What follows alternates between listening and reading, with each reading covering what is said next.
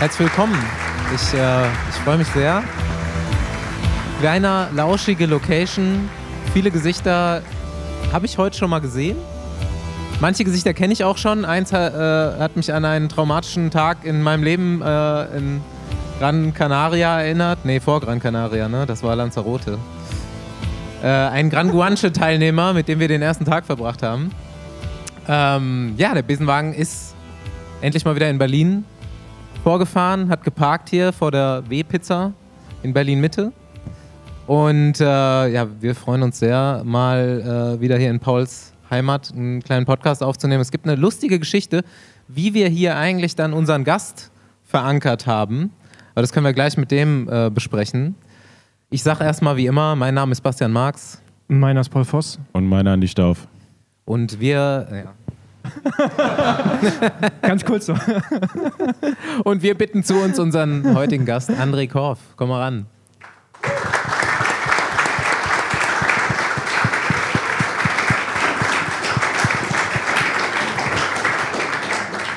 Guten Abend miteinander. Hallo André. Schön, dass ich hier sein darf.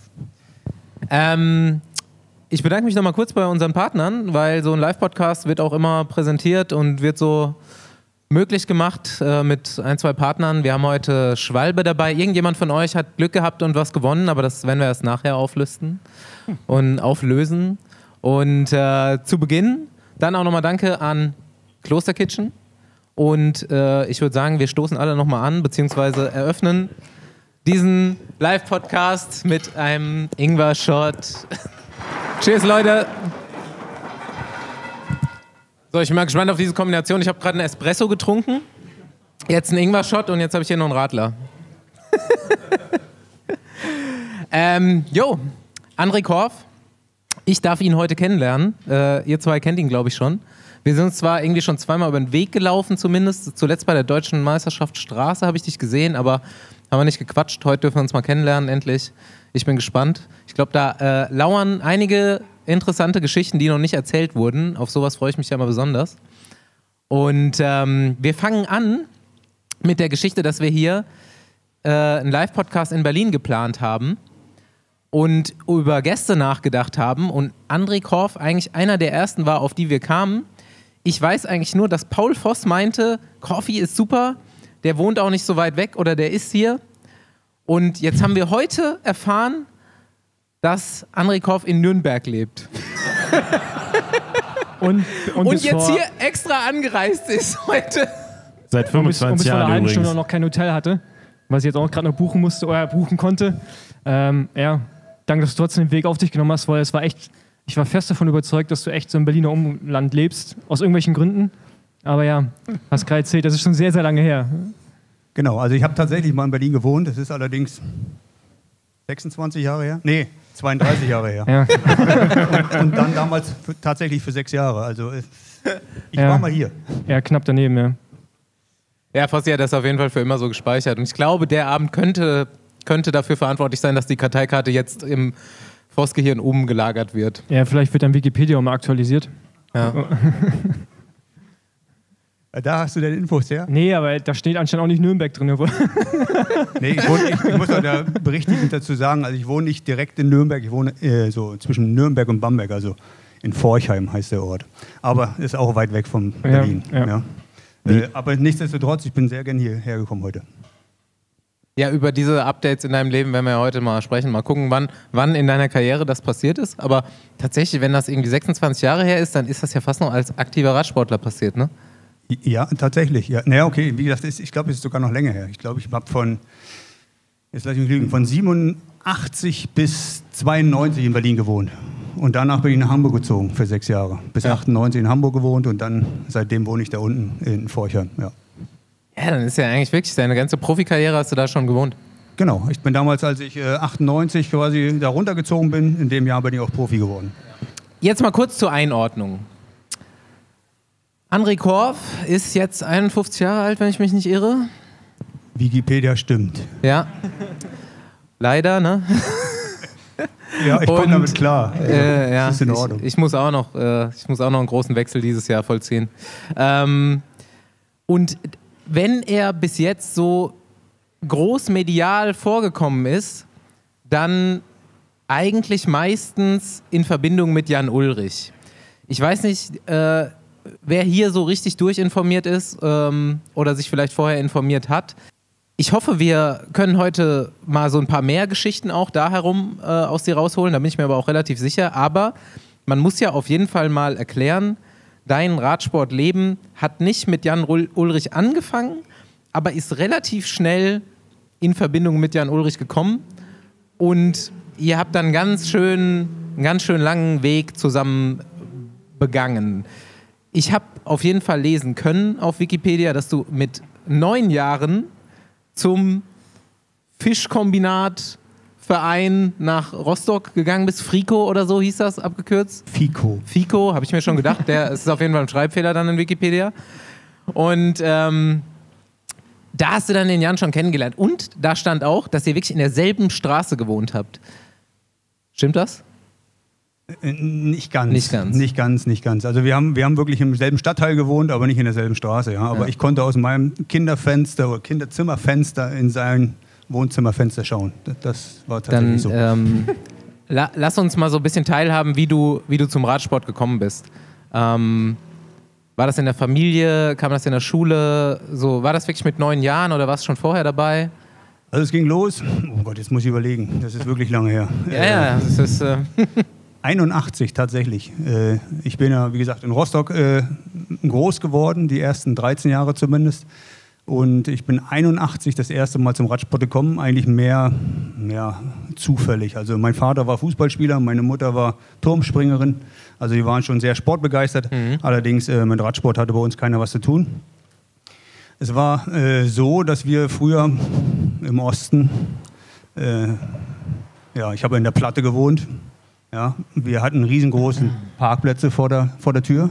Es gab allerdings keine Autos äh, oder wenig Autos. Und auf diesen Parkplätzen wurde quasi der Radsport trainiert. Ja, also wir sind da quasi immer im Kreis gefahren oder die, die Jungs sind da immer im Kreis gefahren. Und bei mir war es tatsächlich so, ich habe mal mit meinem mit einem guten Freund damals, Schulkameraden, irgendwie äh, ja, so uns einen Spaß draus gemacht. Dann haben wir gesagt, pass auf, die müssen hier einmal um die Kurve fahren. Wenn wir da in, in dem Moment mit Schwung von hinten kommen mit unseren Tourenrädern, wenn die quasi auf Null sind, dann machen wir sie mal richtig lang. Ja, äh, gemacht, getan. Äh, haben wir, ja, wir sind, also sind um die Kurve gefahren, wir kamen mit Schwung vorbei an denen mit ihren Rennrädern. Ja, und, und 100 Meter später stand jemand auf der Straße und hat uns angehalten. Und dann haben wir gedacht, okay, jetzt kriegen wir einen richtigen Einlauf hier. Und da hat er aber nur gesagt, ihr zwei, ab Donnerstag seid ihr beim Training.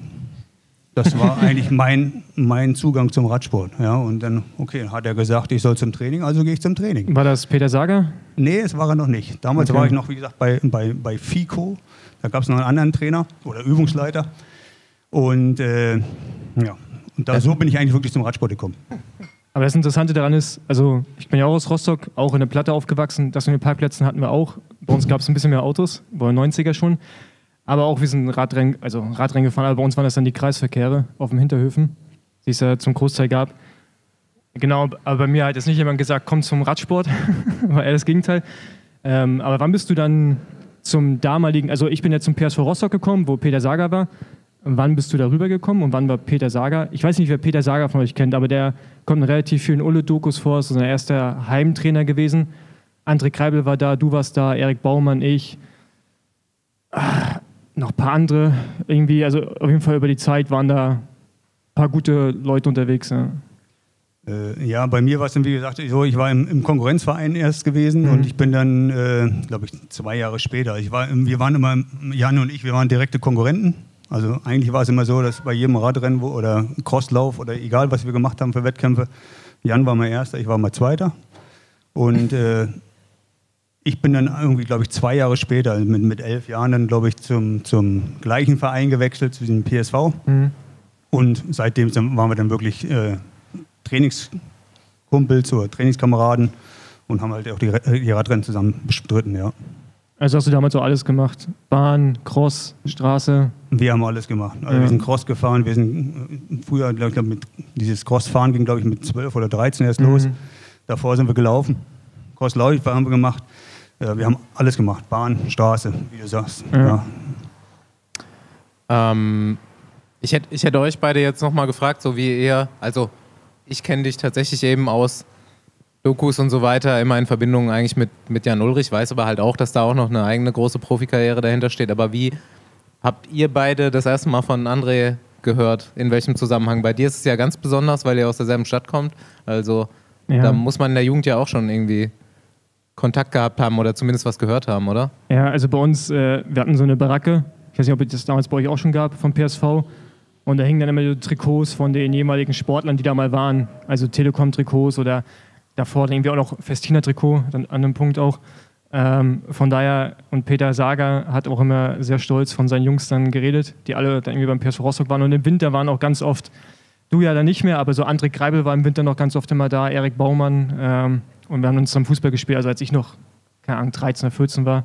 Von da hatten wir immer so ein bisschen den Bezug zu den Jungs. Der Einzige, der wirklich irgendwie richtig weit weg war, war wirklich so Ulle. Der war irgendwie nie da. Aber klar, von André Korf war auch immer die Rede, ja.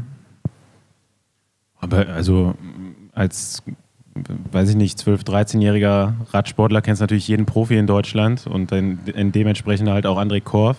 Ne, der ist dann dazu noch mit äh, Marcel Wüst dann mal zusammengefahren beim Team Festina. Marcel Wüst hat den Namen gegeben für das Junior-Team, in dem ich damals gefahren bin. Wir hatten auch Festina-Trikots an, also kannte ich natürlich, ich wusste, wer das ist, aber ich sag mal jetzt so persönlich kennengelernt haben wir uns dann wahrscheinlich erst viel, viel später.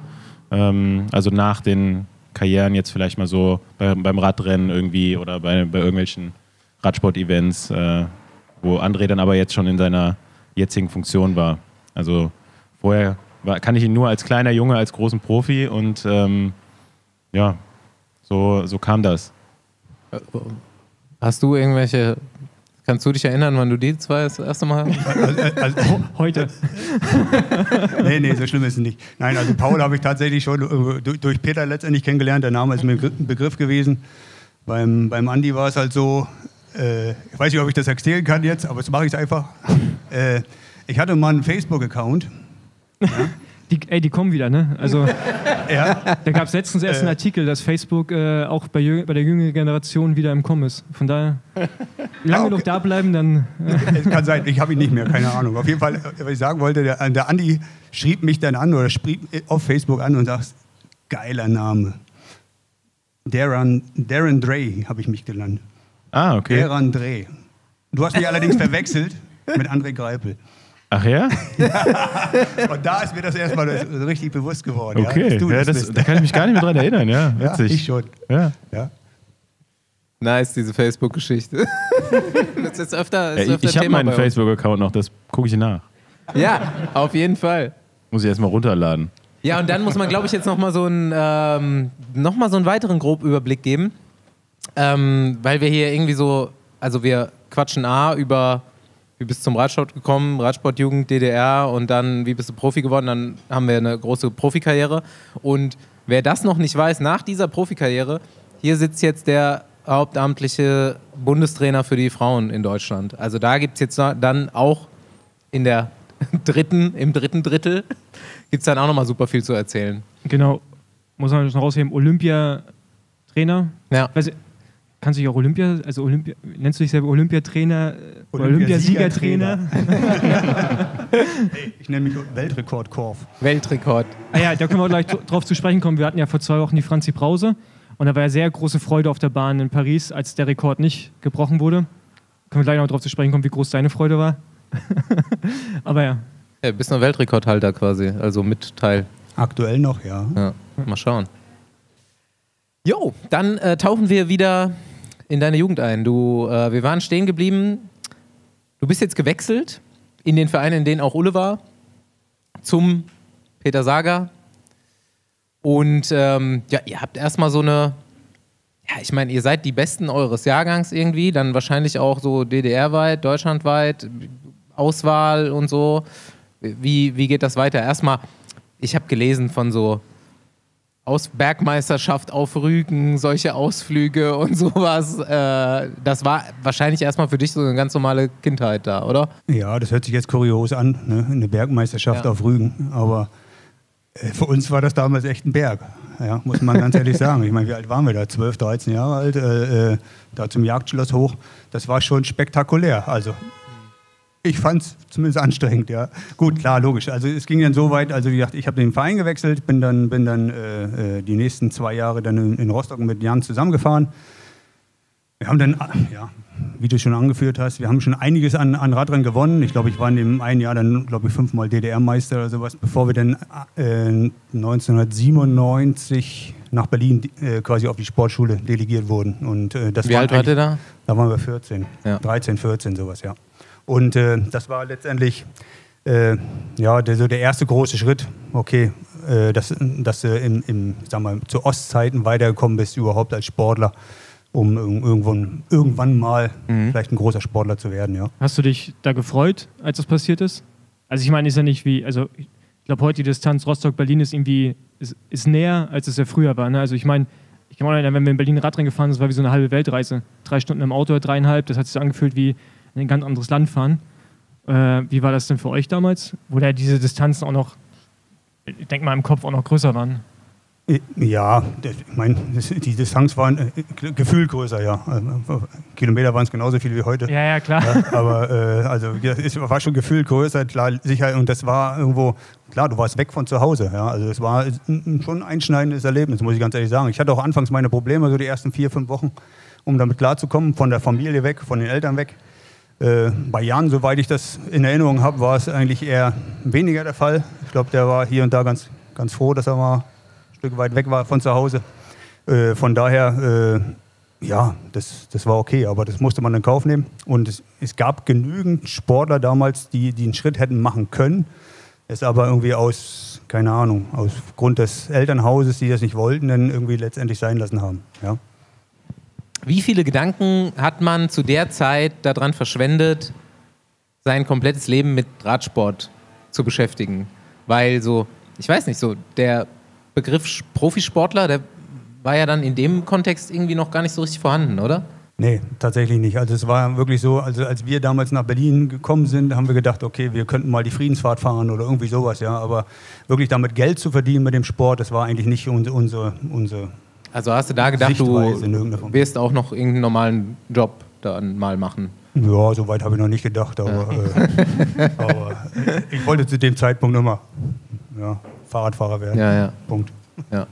Hat geklappt am Ende, ja. Ja, aber wie hat denn dann eine Radfahrerkarriere ausgesehen? Also jetzt angenommen, äh, es hätte es die Wiedervereinigung nicht gegeben in dem Sinne. Wie hätte es dann weiter ausgesehen? Weil du sagst, du wolltest Radfahrer werden, aber Ja gut, hätte man davon leben hab können im Osten? das- Ja, also keine Ahnung, ich meine, da bin ich vielleicht der falsche Ansprechpartner für, aber so ein Olaf Ludwig oder, oder ein Uwe Raab, ich Ja. meine, das waren ja auch alles, alles äh, gestandene Rennfahrer zu Ostzeiten, ja, die Friedensfahrt-Etappen gewonnen hatten. Die- Ich meine, die haben auch letztendlich davon gelebt, solange es, sie es konnten in irgendeiner Form. Äh, ja, und, und so haben wir halt in, unser Jugend, in unserem jugendlichen Leichtsinn letztendlich auch irgendwie äh, gedacht. Also, wie gesagt, aber wir haben jetzt nicht damit äh, oder darüber nachgedacht, okay, wie, wie werden wir, wenn ich 51 bin, meinen Ja. Unterhalt verdienen. Wie, wie weit sind deine Eltern so mit dem Sport gekommen? Waren die auch mehr als Hobbysportler? Weil, also Turmspringerin klingt ja auf jeden Fall so, als müsste man das mal so auch ein bisschen ernsthafter betreiben. Nein, das war wirklich, bei ihr war es wirklich Hobby. Also Ja. bei meiner Mutter war es Hobby. Mein, mein Vater hatte die Möglichkeit damals in Rostock wirklich äh, Fußballer zu werden, irgendwo in, der- in der Oberliga zu spielen. Hat es allerdings nicht geschafft, weil er, weil er was mit dem Herzen hatte. Ja, aber die Ambitionen waren damals auch schon, schon da, ja. Also muss Ja. man ganz ehrlich sagen. Okay, zu welcher Zeit oder sind wir, sind wir jetzt schon so eigentlich in der Chronologie da angekommen, wo die Wende passiert und ihr Richtung, Richtung Hamburg umsiedelt, oder? Wie, wie kam das? Wie hast du das erlebt? Ja, also es ist, wie gesagt, es kam die- diese Wendezeit irgendwie, wir mussten uns irgendwie entscheiden, okay, was machen wir jetzt? Wir hatten in, in die Schule abgeschlossen gehabt, also einen Realschulabschluss gemacht in, in, hier in Berlin, haben schon ein Jahr eine Ausbildung gemacht als, jetzt muss ich überlegen, Okay, weil du- wir mussten auf jeden Fall so prägend wir mussten viel feilen und schweißen und was ich, also ich glaube, das war Industriemechaniker war es, ja. Äh, Also, also aber ganz musstet ihr es wirklich machen oder war das eher so, Nee, nee, die, die Zeiten waren vorbei, wo wir nichts mehr machen mussten. Also wir mussten dann tatsächlich, also die, die, die neue Welt, die war dann äh, für uns genauso wie, wie für jeden anderen. Also wir mussten wirklich dann morgens halb sechs aufstehen, um sechs mussten wir an der Werkbank stehen. hm, und äh, unsere Ausbildung letztendlich machen. Und wie gesagt, ich kann mich erinnern, wir haben viel gefeilt und wir haben auch geschweißt und gedreht und was ich was alles. Also wir, wir haben das alles, alles gemacht. Hat am Ende nicht wirklich gefruchtet, aber, aber wir haben es auf jeden Fall mal probiert. Äh, und dann war es tatsächlich so, das war dann 90, glaube ich, oder 91 war das, 91 müsste das gewesen sein. Und dann sind wir äh, im, am 5. Februar 92 sind wir dann, haben wir unsere, unsere Sachen gepackt und sind aufgrund des Fahrradfahrens, weil in Hamburg wurde eine neue Bundesligamannschaft gegründet, äh, sind wir dann nach äh, Hamburg gezogen, ja. Und dann haben wir erstmal ein halbes Jahr lang Rad gefahren. Da war erstmal nichts, bevor wir dann unsere Ausbildung weitermachen konnten. Ja. Wer, wer hat das damals so organisiert oder äh, wie seid ihr da gelandet? Über, über einen Trainer? Über, wart ihr noch bei Saga zu dem Zeitpunkt oder? Ähm Nee, zu dem Zeitpunkt in Berlin. In Berlin waren wir ja bei Peter Becker schon. Ja, das war dieser, dieser, unser, unser Schleifer in Berlin gewesen, ja. wenn man so will. Ja. Und äh, Peter hatte damals den Kontakt zu Wolfgang Strohband in Hamburg. Und Wolfgang Strohband hat dieses, dieses Bundesliga-Team neu gegründet und mhm. daraufhin durch diesen Kontakt hat, hat, Peter halt gesagt, pass auf, äh, ich habe hier vier, vier gute Rennfahrer, junge Rennfahrer, äh, mit denen könnt, könnte er sich das vorstellen, dieses Team zu gründen und von Grund auf wirklich neu aufzubauen. Und so ist das letztendlich zustande gekommen, dass wir dann äh, nach Hamburg gezogen sind und, ja, und dann, dann in Hamburg quasi unsere sportliche Karriere erstmal weiter fortgesetzt haben. Jetzt wird es auf jeden Fall äh, für mich interessant, weil jetzt kommt so eine Lücke. Ich weiß, das war jetzt 92. Es hat jetzt nicht super lang gedauert bis 93, wo Ulle Amateurweltmeister wird in Oslo. Erste Frage, warst du da auch? In Oslo nein. Nein. Nee, nee, nee. Das war halt nur Ulle. Ich meine, Ulle ist halt in dem Jahr, keine Ahnung, er hat, glaube ich, fünf Bundesjährinnen gewonnen. Und äh, er stand, glaube ich, nicht unbedingt auf dem Zettel beim, beim Bundestrainer für die WM. Äh, aber nachdem er da, glaube ich, in, in, jetzt muss ich lügen, in, in Neustadt an der Weinstraße, glaube ich, ein Bundesligarennen mit fünf Minuten Vorsprung gewonnen hatte, kam, kam keiner mehr an ihm vorbei. Also zumindest nicht mehr der mhm. Bundestrainer, der amtierende damals. Und du musst ihn mit, mitnehmen zur WM. Und das mhm. okay, hat sich dann gerechnet, ja, für beide Seiten. Ja. Ja, und jetzt ist nämlich so ein, so ein Gap. 97 bist du Stagiaire bei Festina und ich habe keine Ahnung, was zwischen 92 und 97 passiert ist. Und das müssen wir jetzt mal beleuchten. das können wir gerne machen, das ist auch schnell erzählt. Ja. Also äh, ich bin dann noch bis, jetzt lass mich lügen, 95 in Hamburg bei der RG Hamburg gefahren, in diesem mhm. Bundesliga-Team. Äh, habe tatsächlich meine Ausbildung zu Ende gemacht. Mhm. Nicht als Industriemechaniker, sondern als Bürokaufmann. Okay. Und äh, bin dann 97, wie gesagt, äh, also war dann noch bei der Bundeswehr ein Jahr und bin dann, bin dann äh, 97 als Stagiaire bei, bei Festina eingestiegen und dann 98 Profi geworden, genau. Ähm, ich weiß, aber, dann, aber dann bist du in den Jahren dazwischen auch gut gefahren, anscheinend. Ja, ja. also. Ja, ich habe hier und da auch so ein Rennen gewonnen, ja. Das ist schon also, mal vorgekommen. Du, du hast nichts dazu gefunden, oder wie? Wir, wir, müssen halt vielleicht auch mal so ein bisschen Kontext geben, wie es damals so mit Profiteams war. Ne? Das ist ja eigentlich auch erst so die Geburtsstunde. Vielleicht kann Andi tatsächlich äh, so ein bisschen Kontext dazu geben, weil dein Vater auch so im beginnenden Telekom-Team, was so das, weiß ich nicht, das erste deutsche so richtige Profiteam war wahrscheinlich, mitgewirkt hat. So, das ist so die Zeit, wo du eigentlich halt, musstest eigentlich ins Ausland, wenn du mit Radfahren Geld verdienen wolltest, oder? Ja, ich glaube, so Ende der 80er gab es in Deutschland das Team Nürnberger, was so relativ professionell aufgestellt war. Das waren aber auch noch keine Profis, also die hatten keine Profilizenz. Ja, und dann war, glaube ich, das erste Profiteam in Deutschland war dann nicht Team Telekom, sondern das hieß damals noch Team Stuttgart. Das müsste dann so 91, 92 gewesen sein.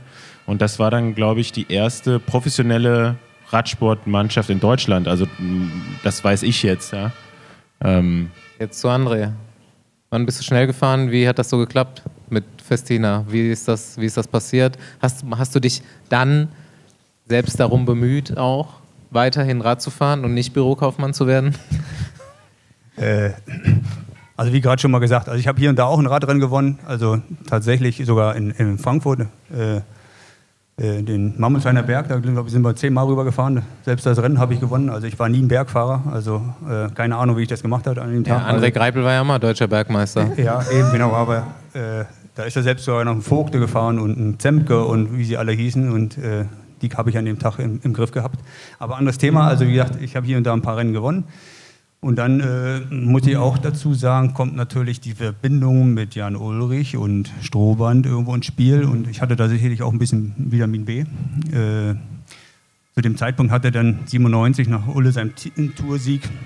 Äh, ja, also dann kam halt hier und da so ein, äh, wo war ich jetzt stehen geblieben? Strohband, ja. Strohband, Aber kannst genau. du mal kurz erklären, wer das war?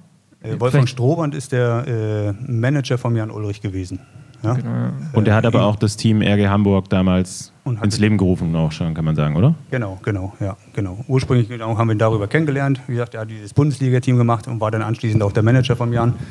Und äh, und über, über seine Kontakte, wie gesagt, und nachdem Jan dann äh, 97 die Tour gewonnen hatte, äh, hatten man natürlich auch im Ausland, ist man ein bisschen aufmerksam geworden, okay, man wollte mehr deutsche Fahrer irgendwie im, im, im Zirkus haben und, und hat gefragt, ob, nicht irgendwie, ob, es nicht noch ein, ob, ob er nicht noch einen deutschen Fahrer kennen würde, der sich mal präsentieren könnte. Und wie gesagt, 97 bin ich dann zwei Radrennen, drei Radrennen, glaube ich, bei, für Festina gefahren und konnte da, glaube ich, ganz gut überzeugen.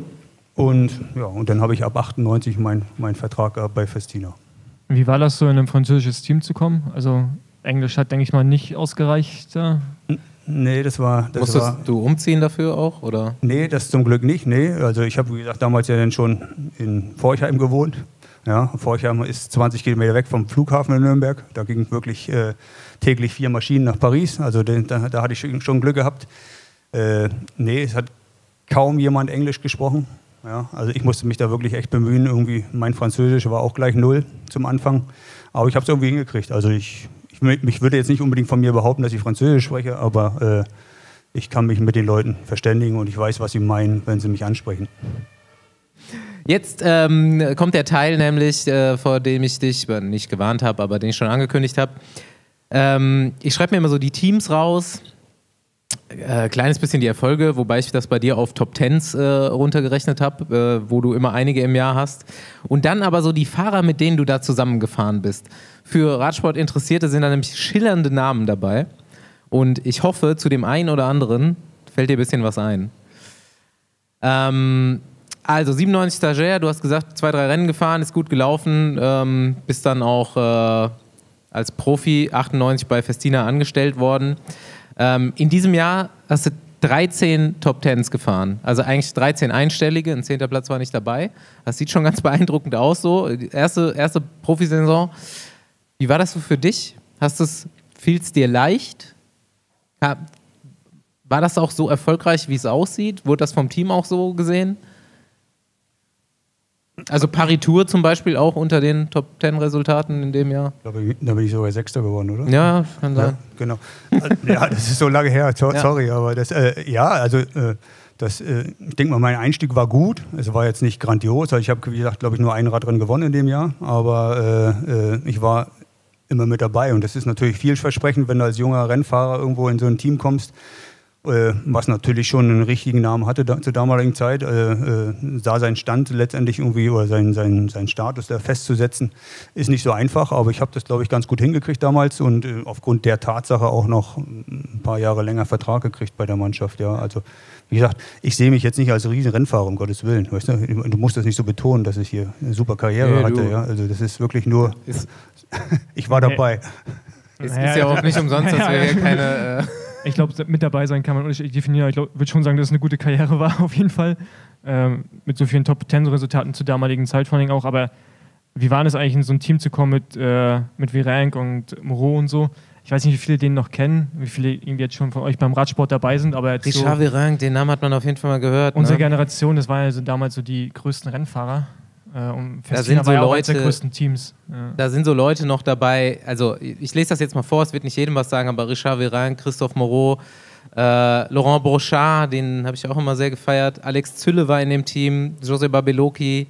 Ähm, später kam noch, also in den späteren Jahren, deinen späteren Jahren in dem Team, im, kam noch ein Sven Teutenberg auch dazu, den wir gut kennen. Ähm, beziehungsweise den Bruder kennen wir sehr gut. Ne? Frank Schleck. Ähm, ja, jetzt zu Pauls Frage zurück. Wie war das so? Ja, für mich war das normal.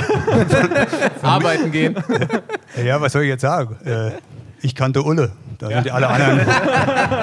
da sind alle anderen auch nur ganz normale Rennfahrer, um Gottes Willen. Ja. Ja, okay, Nein, also in, was in dem Kontext gesehen ist, stimmt das natürlich. Ja, stimmt. Der, Äh, hatte ja nein, sieb, halt- der hatte 97 die Tour gewonnen, Ja, ne? das genau. muss man ja auch mal sagen. Ja. Ja, er war der Hero in der Zeit, Ja. also muss man ganz ehrlich sagen. Also, nee, was mir so, so, so im, im Gedächtnis geblieben ist, ich kann mich erinnern, glaube ich, das war auch 97 bei dieser einen Stagiaire-Sache da, äh, ist ein Virenk auch mitgefahren, Paris Tours, glaube ich, war das. Und wie gesagt, ich kannte es bei Ulle, dass er sich da eine Traube bildet und und und und äh, wenn, wenn der irgendwo aufgetaucht ist. Allerdings äh, war das bei, ist bei dem Radrennen auch ein Virenk mitgefahren. Und ich weiß es noch wie heute, ich musste nach dem Rennen mit ihm zu, zurück nach Paris zum Flughafen. Und ich glaube, ich glaube, 20 Minuten gebraucht, bis ich am Auto war. Das waren 100 Meter. Also es war wirklich, das war, also es war unglaublich, was da Menschen waren und, und, und den gefeiert haben. Also das war wirklich, und da hat man halt gemerkt, okay, das ist halt doch schon auch in, auch in Frankreich ein Nationalheld, hoch 10, also das war schon, war schon äh, eine große Nummer. Ja. Es gab noch eine andere Situation, 98 im, im Frühjahr, weiß ich noch, bin ich Paris-Nizza gefahren. Und da waren wir irgendwie, glaube ich, bei einer Etappe mal so auf so einer, auf so einem, auf so einem, in so einem Chateau untergebracht. Und da gab es wohl anscheinend einen ganz guten Wein. Und da wurde dann abends zum Abendessen mal so eine Flasche bestellt. Frag mich nicht, was die gekostet hat. Ich weiß es nicht. Alle anderen haben nur genippt. Ich habe den Schluck getrunken. und dann habe ich aber auch meinen Hohn, meinen Spott gekriegt dafür. Ja, wie kann ich bloß Kulturbanause? Das ist Ja gut. ich wusste es nicht anders oder nicht besser. Ja. Ich habe dich vorhin schon, äh, jetzt habe ich dich wirklich vorgewarnt. 98 Festina, wer sich ein bisschen mit Radsport auseinandersetzt, äh, muss man auf jeden Fall mal nachgefragt haben, weil habe ich noch nie gehört, die Geschichte von einem, der in dem Team war. Also bei der Tour de France oder ich weiß gar nicht, ob kurz davor, ähm, wurde der berühmte Festina-Skandal losgetreten. Einer der Betreuer des Teams wurde äh, an der französischen Grenze festgesetzt mit einem Haufen Medikamenten dabei. Und das Team wurde, ich glaube, es wurde von der Tour de France ausgeschlossen, oder? ja, ja, die sind komplett Ja. alle rausgenommen worden, ja. Ähm, aber du warst nicht bei der Tour de France dabei, oder? Ich war nicht dabei nee. Jahr. du, hast, du hast das schön aus Forchheim mitverfolgt. Was heißt schön? Also es war, war, war wirklich nicht schön damals. Und Ja. wie gesagt, ich war damals trotzdem noch ein, ein ja, wie soll ich sagen, also ich war, ich war halt keine Nummer in irgendeiner Form, Ja. äh, war ich nie, aber in dem Fall erst recht nicht. Äh, also wie gesagt, zur Tour kam ich jetzt nicht in, in Frage. Ja. Äh, für mich war ab dem Zeitpunkt, und das war, jetzt muss ich lügen, Anfang Juli, glaube ich, gewesen, als die Tour losging, ich glaube, es war am zweiten, dritten Tag oder was, äh, war erstmal Totenstille. Also ich habe nichts mehr gehört von diesem Team, äh, glaube ich, zwei Monate lang. Und äh, ja gut, ich wusste auch nicht mehr, ob es weitergeht, ob es jemals weitergeht oder was jetzt passiert. Also ich glaube, den ersten Kontakt hatte ich dann irgendwie, glaube ich, im, im September wieder. Äh, und ja, und dann hat sich die ganze Sache ja im, im Anschluss dann komplett geändert. Also wie gesagt, aus diesem französischen Team wurde ein spanisches Team und äh, Was, was ist daraus geworden? Welches Team dann? Festina. Es, blieb, weiter, es blieb der Name Festina. blieb Festina. Aber daraus wurde ein spanisches Team. Ja, ja, es war also 98 bis 98, einschließlich 98 hat- hatten sie eine äh, französische Ja. Lizenz und ab 99 dann eine spanische. Also wir haben einen spanischen nicht, Chef ja. gekriegt, einen neuen, neuen sportlichen Leiter, einen Komplettchef. Da war ein Spanier und der hat dieses Team quasi übernommen und dann äh, letztendlich nochmal drei Jahre weitergeführt, ja. Okay. Das, ist, das Team ist in Spanien auch unter, unter, immer unter dem Namen Lotus gefahren, kann das sein? Genau, genau. Ja. das war tatsächlich so. Also wir sind in, in, in, der, in der ganzen Welt als Festina gefahren und nur in Spanien hatten wir andere Trikots. Und da, da stand Lotus dann drauf. Also, Ja, die Automarke Lotus oder? Nee, nee. Also Und- die Marke Festina hieß in Spanien Lotus, glaube ich, oder? Okay. ja, genau. Also der hatte, er hatte mehrere äh, Uhren oder Firmennamen oder wie auch immer und, und, und er hat sie quasi in, in Spanien unter Lotus vertrieben. Genau, das war Okay. der Grund eigentlich Ja. dafür. Ähm, äh, äh, eine Interessensfrage von meiner Seite. Gab es in Deutschland ähm, Medieninteresse an dir, was das Thema anging? Oder hattest du komplett deine Ruhe zu der Zeit? Also ich, ich, ich weiß es nicht mehr hundertprozentig, hundertprozentig sage ich dir ganz ehrlich, aber ich, soweit ich mich erinnern kann, äh, hat mich da keiner genervt oder sowas. Ja. Also ich war wirklich zwei Monate wirklich komplett äh, weg. Ja. Ja, also es hat, hat sich nie jemand irgendwie in irgendeiner Form bei mir gemeldet. Ja. Also Ja, war ein bisschen eigenartig. Wie gesagt, ich stand damals da, ich bin gerade, meine, meine Tochter ist glaube ich im August geboren worden Ja. und es war im Juli, war ein Monat vorher. Also da steht man schon da und hat dann andere Probleme. Äh, Und dann machst du dir Gedanken, okay, wie geht's weiter? Mhm. Wie gesagt, im September dann kamen dann die ersten, ersten Anrufe dann wieder und und und und dass es weitergeht. Aber äh, ja, also ansonsten hat sich kaum jemand bei mir gemeldet. Mhm. Ähm, Marcel Wüst und du, ihr wart, glaube ich, die einzigen deutschen Fahrer erstmal in dem Team, ne? Ähm, wart ihr viel zusammen unterwegs? Ihr seid ja schon auch irgendwie ähnliche Fahrertypen gewesen, oder? Ja, mit Marcel haben wir, haben wir einiges gemacht, ja. Ja. Das stimmt, ja. Also wir sind viele Rennen gefahren, okay, ich, ich, ich galt dann immer als junger Fahrer für ihn. Marcel ist jetzt, muss ich lügen, fünf, sechs Jahre älter als ich.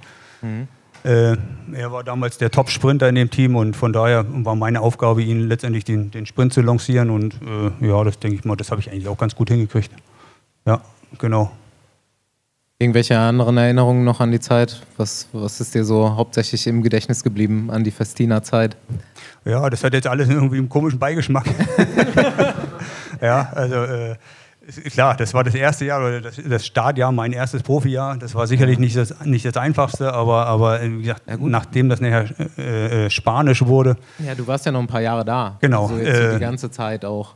Genau, es ist, ist das, äh, es war eine schöne Zeit. Ich meine, ich war jung, äh, äh, wir konnten, konnten Radfahren, wie wir, wie wir lustig waren. Äh, Da gab es sicherlich immer eine, eine Hierarchie, aber äh, ja, es war eine coole Zeit bis 2000, muss ich ganz ehrlich sagen. Also 99 war es noch, nee, muss, muss ich über- erst mal nachdenken. Weil 98 war ich da, 99 war das äh, zweite Jahr. Wie gesagt, da lief das alles an. Das war alles ein bisschen unterm Deckel gehalten worden da. Also wir haben da jetzt nicht groß irgendwie äh, uns, uns in Szene setzen können.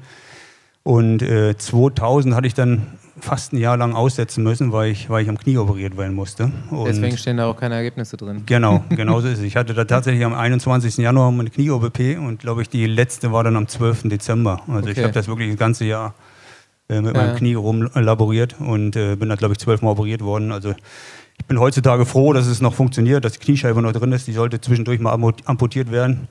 Äh, das konnten wir alles ein bisschen, bisschen abwinken oder abglätten, aber äh, äh, im Endeffekt bin ich froh, dass es danach überhaupt noch funktioniert hat. Ja. Ich kann mich noch was aus, an was aus der Zeit erinnern. Und zwar, äh, klar, Marcel Wüst als Kölner auch, war immer so, den hat man dann da gesehen und war total fasziniert. Und ich kann mich noch daran erinnern, ihr seid auf jeden Fall eine Zeit lang Specialized-Räder gefahren.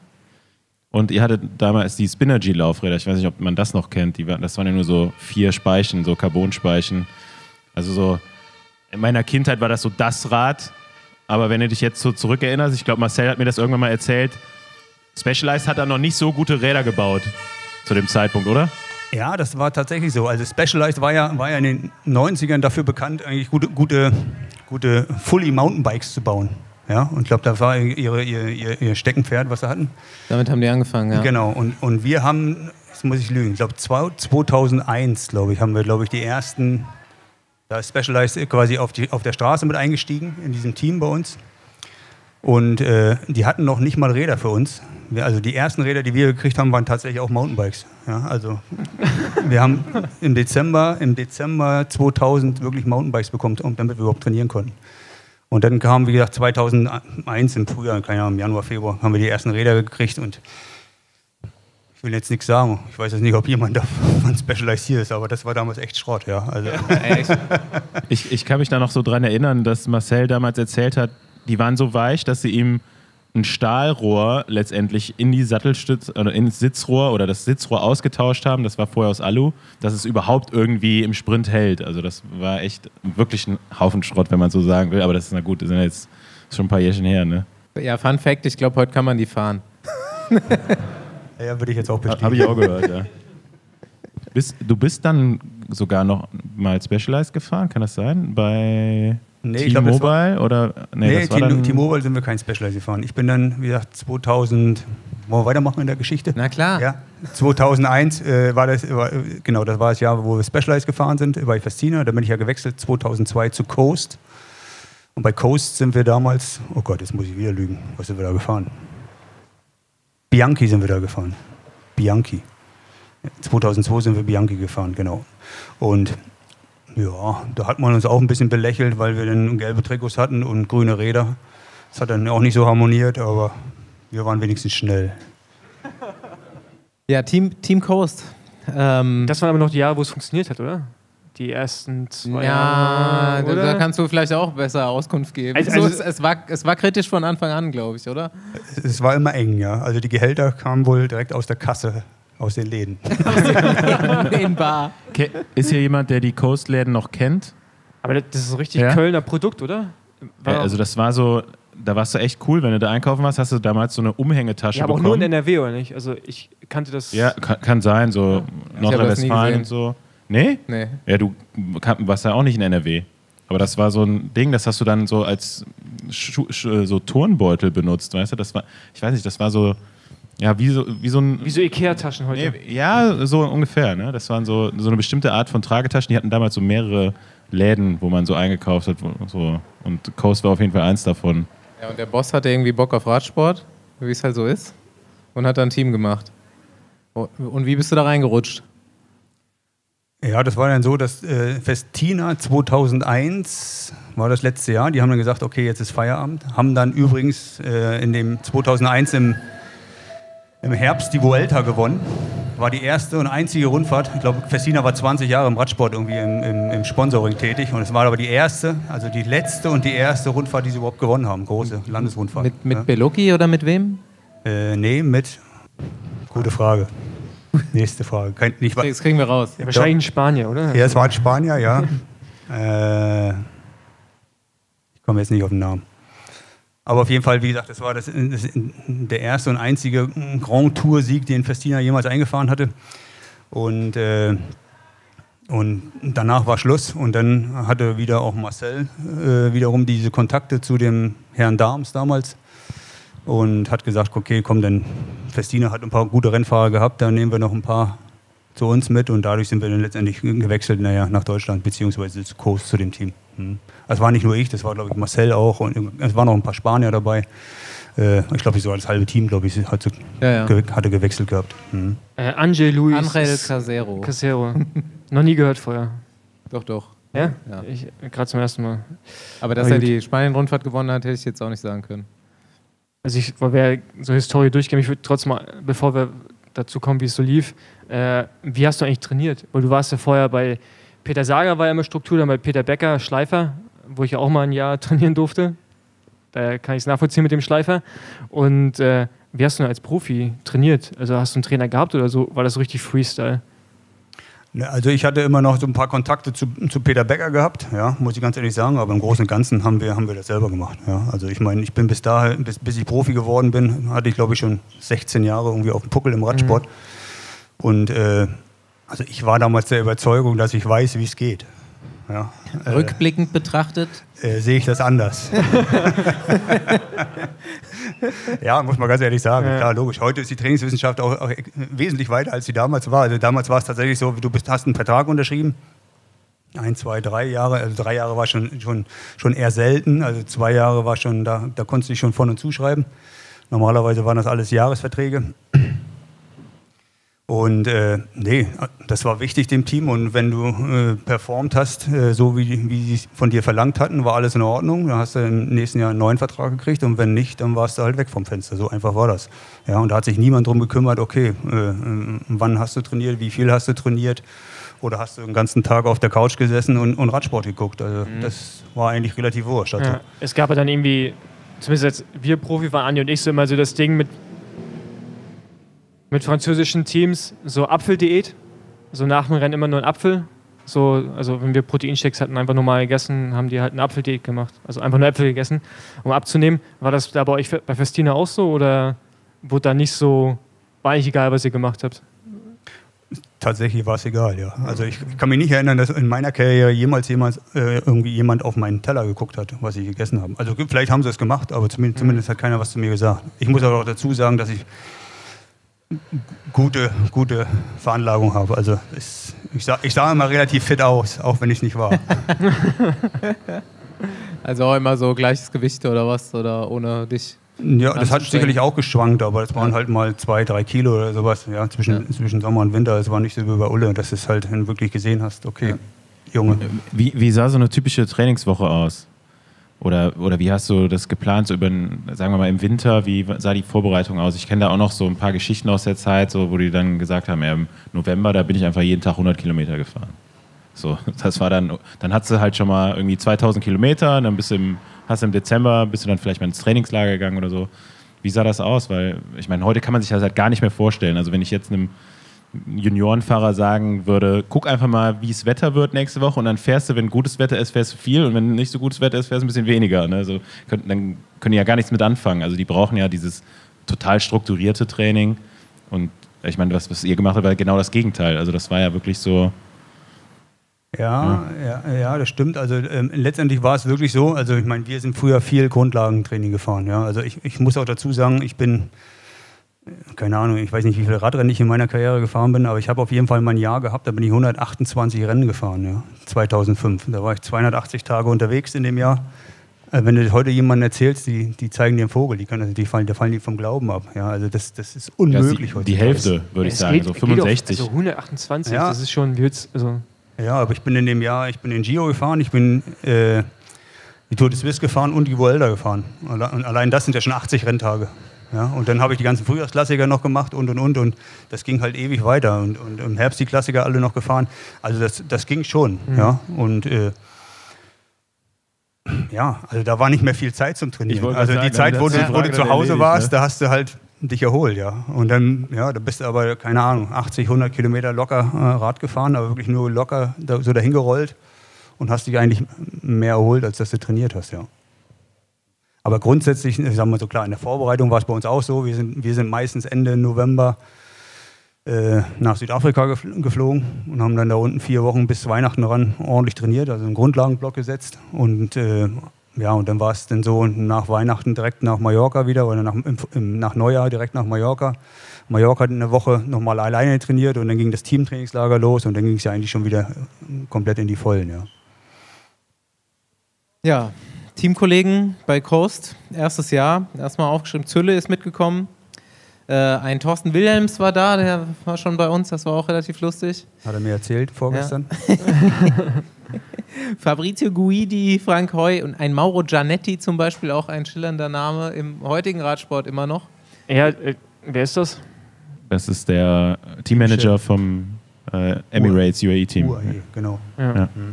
Irgendwelche lustigen Erinnerungen an die Zeit, an die Namen? An nee, an Mauro muss, muss ich ganz ehrlich sagen, nicht viel, außer dass er die gleiche Frisur hatte wie heute. Ja. Also er, er, hat keine Haare. Paul, Paul Voss Frisur.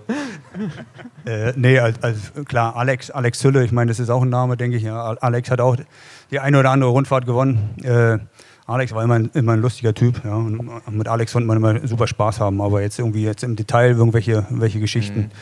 Mhm. Äh, kann ich jetzt auch nicht wirklich erzählen. Also es gab mal so eine Situation, damals, er ist ja auch damals äh, bei Festina schon gewesen. Ich glaube, mhm. jetzt, jetzt muss ich lügen.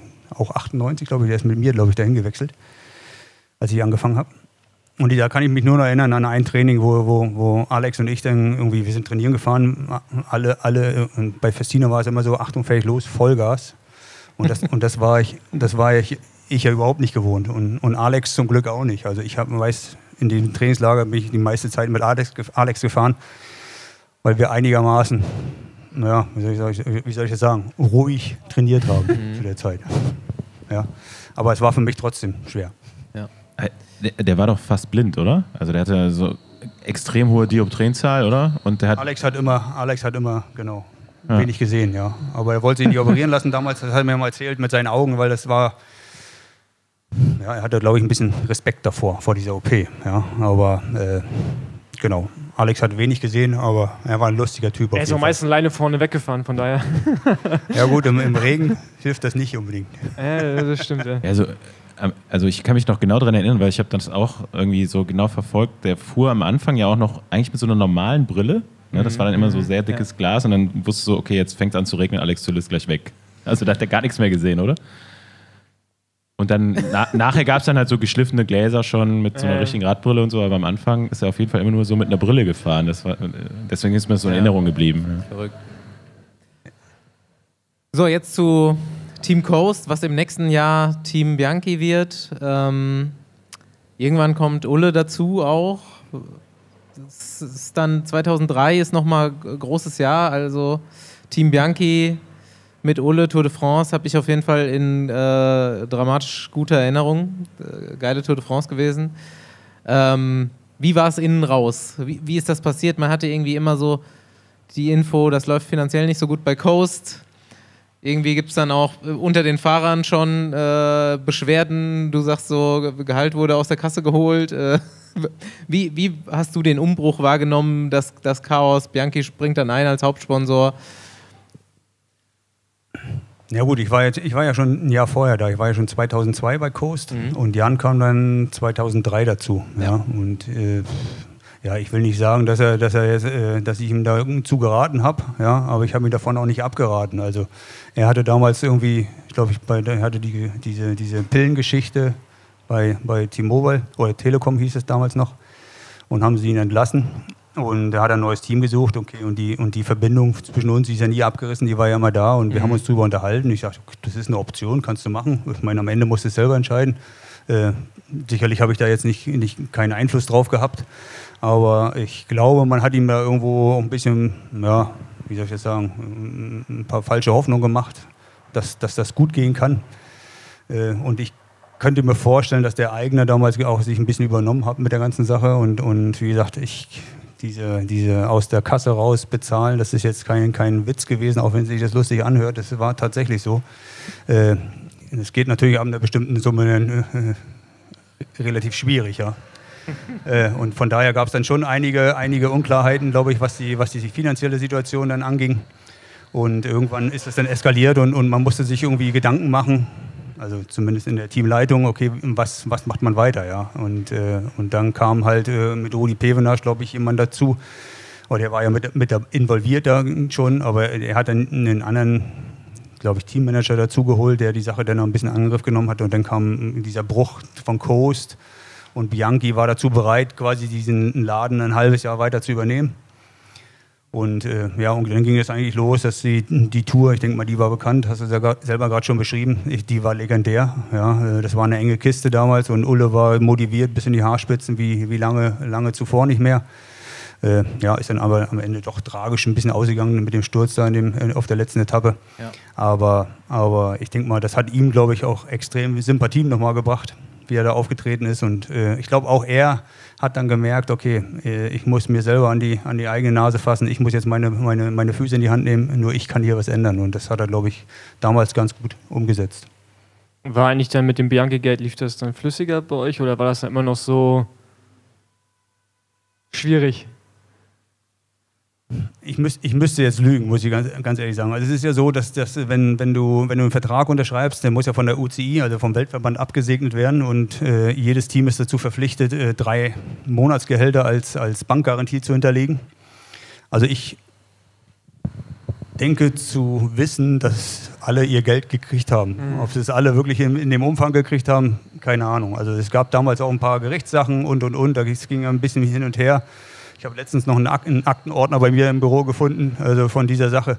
Also, äh, aber ja gut, da ist für mich ist ein Haken dran. Keine Ahnung, ich, ich kann es da nicht wirklich aber sagen. War, war das für dich oder euch so damals eher auch so ein Ding, also das kann halt mal so passieren? Also es ist ja jetzt im jetzigen Radsport passiert sehr selten. Man hat das Gefühl gehabt, so, das war auch so die Zeitraum, wo es auch so ein paar Scams gab, wo irgendwie angeblich so große Sponsoren reinkommen, Teammanager unterschreiben schon mit Fahren und dann explodiert das Ding. Gab es in Australien mal einen Fall und ich glaube in Europa wahrscheinlich auch. Andi weiß da mehr zu. Ja, das kam ja alle, paar, also wenn man die letzten zehn Jahre guckt, so alle paar äh, Jahre genau. ist ja immer so eine Geschichte. Aber, ne? aber war das für euch so damals, ja gut, ist halt, ist halt so ein fragiles Konstrukt, man lebt damit einfach? Ja, also einfach leben tust du damit nicht. Ich ja, ja schon klar, du kannst natürlich auch nicht hm. viel machen, aber. Genau, genau. Äh, ja, du bist letztendlich bist du der Situation ja ausgeliefert. Ja? Mhm. Ich meine, wir versuchen irgendwo unseren, unseren Sport zu machen oder Geld damit zu verdienen mit dem, was, was wir gerne möchten. Und da macht man hier und da sicherlich auch ein paar Kompromisse. Äh, aber irgendwann endet das ja auch. Ne? In dem Moment, wo man irgendwo Verpflichtungen hat, Familie hat und und mhm. und, vielleicht ein Haus abbezahlen muss oder wie auch immer, äh, ist, das, ist das dann schon ein bisschen schwieriger. Also denkt man dann dreimal drüber nach, äh, ob das jetzt gut ist oder, oder schlecht. Ja. Und je älter man wird, umso schwieriger wird es auch nochmal zusätzlich. Aber wir sind jetzt im, ähm, im Primetime-Teil, würde ich sagen, von Andres Karriere äh, gelandet. Primetime, weil endlich, ja, bekanntestes deutsches Profiteam, glaube ich, bis heute. T-Mobile heißt es dann zu dem Zeitpunkt. Ich glaube auch die ganze Zeit, oder? Wo du da warst. Ja, genau, ab 2004 hieß das T-Mobile, genau. Hm? Stimmt. Ja. Und 2004 bist du da gelandet, glaube ich, ja? Genau, von 2,4 bis 2,7. Jo. Da würde ich. Gab es vorher nie die Möglichkeit für dich, in das Team zu wechseln oder wolltest du gar nicht? Also, du, ich meine, du hattest ja bei Festina eine gute Zeit, hast du gesagt. Also sagen wir mal, nach, nachdem es im September 98 weiterging. Aber Nee, nee, nee, nicht wirklich, muss ich ganz ehrlich sagen. Also ich, äh, bei mir war es tatsächlich so, ich war also elf Jahre effektiv Profi. Und äh, ich habe, glaube ich, in den elf Jahren, ich hatte es vorhin schon mal kurz angefügt gehabt, äh, wirklich immer nur Jahresverträge gehabt. Also es war nie so, dass ich jetzt irgendwie mal ein bisschen länger planen konnte in irgendeiner Form, sondern wirklich, ich habe wirklich von Jahr zu Jahr irgendwo gelebt. Und äh, ich glaub, mein letzter Vertrag, der ging tatsächlich über zwei Jahre, wurde dann am Ende aber nicht erfüllt. Ähm, also es war 2,7 war es vorbei schon, oder was? Ja. Ja? Zwei, ja, also vier Jahre war T-Mobile, ja. 2,4 bis Danach kam 2,7. ATC oder was? Und dann wurde es zu, ja, ich glaube HTC, glaube ich, oder? Oder wie hießen die? High Road High Road. erstmal? High Road? High Road okay. erst, dann genau, High Road hießen sie, genau. Also bevor, äh, wir überspringen jetzt, also kommen wir gleich zurück, wie du da hingekommen bist, aber warum wurde der nicht erfüllt? Also warum bist du nicht zur HTC mitgegangen oder zur High Road? Äh, Kommen wir nachher nochmal drauf. Okay. Äh, aber wie bist du bei, wie bist du bei äh, Telekom und T-Mobile damals gelandet? Also war das so ein Ding, auch so Ulle-Connection-mäßig dann oder war so, okay, gut, ähm, gute Ergebnisse plus deutscher Fahrer? Naja gut, ich war ja 2003 dann wieder, wieder, wieder verletzt gewesen. Ich hatte mit der Achillessehne Probleme. Und, äh, und da muss ich ganz ehrlich sagen, als Jan dann wieder äh, zurückgewechselt ist oder damals zur Telekom bzw. T-Mobile gewechselt ist, äh, konnte er dann ein- paar Leute mitnehmen. Und da war ich einer von denen, die dann quasi mit einen Vertrag bekommen hat, haben. Mhm. Genau. Da war ein Tobi Steinhauser mit bei. Äh, ja, und in, in, vom Staff waren ein paar Leute mit bei, Mechaniker und Physiotherapeuten und und und. Und da, und da bin ich dann, in dem Zuge bin ich dann auch mit hingekommen, ja. War nicht für alle schön, muss ich auch ganz ehrlich sagen. Also es gab da schon ein paar, ein paar äh, ja, unangenehme Situationen, auch von, von, von anderen Rennfahrern, die gesagt haben, okay, was will der hier? Ja, wie gesagt, ich bin ein halbes Jahr lang kein Rad gefahren davor und habe dann trotzdem den Vertrag gekriegt.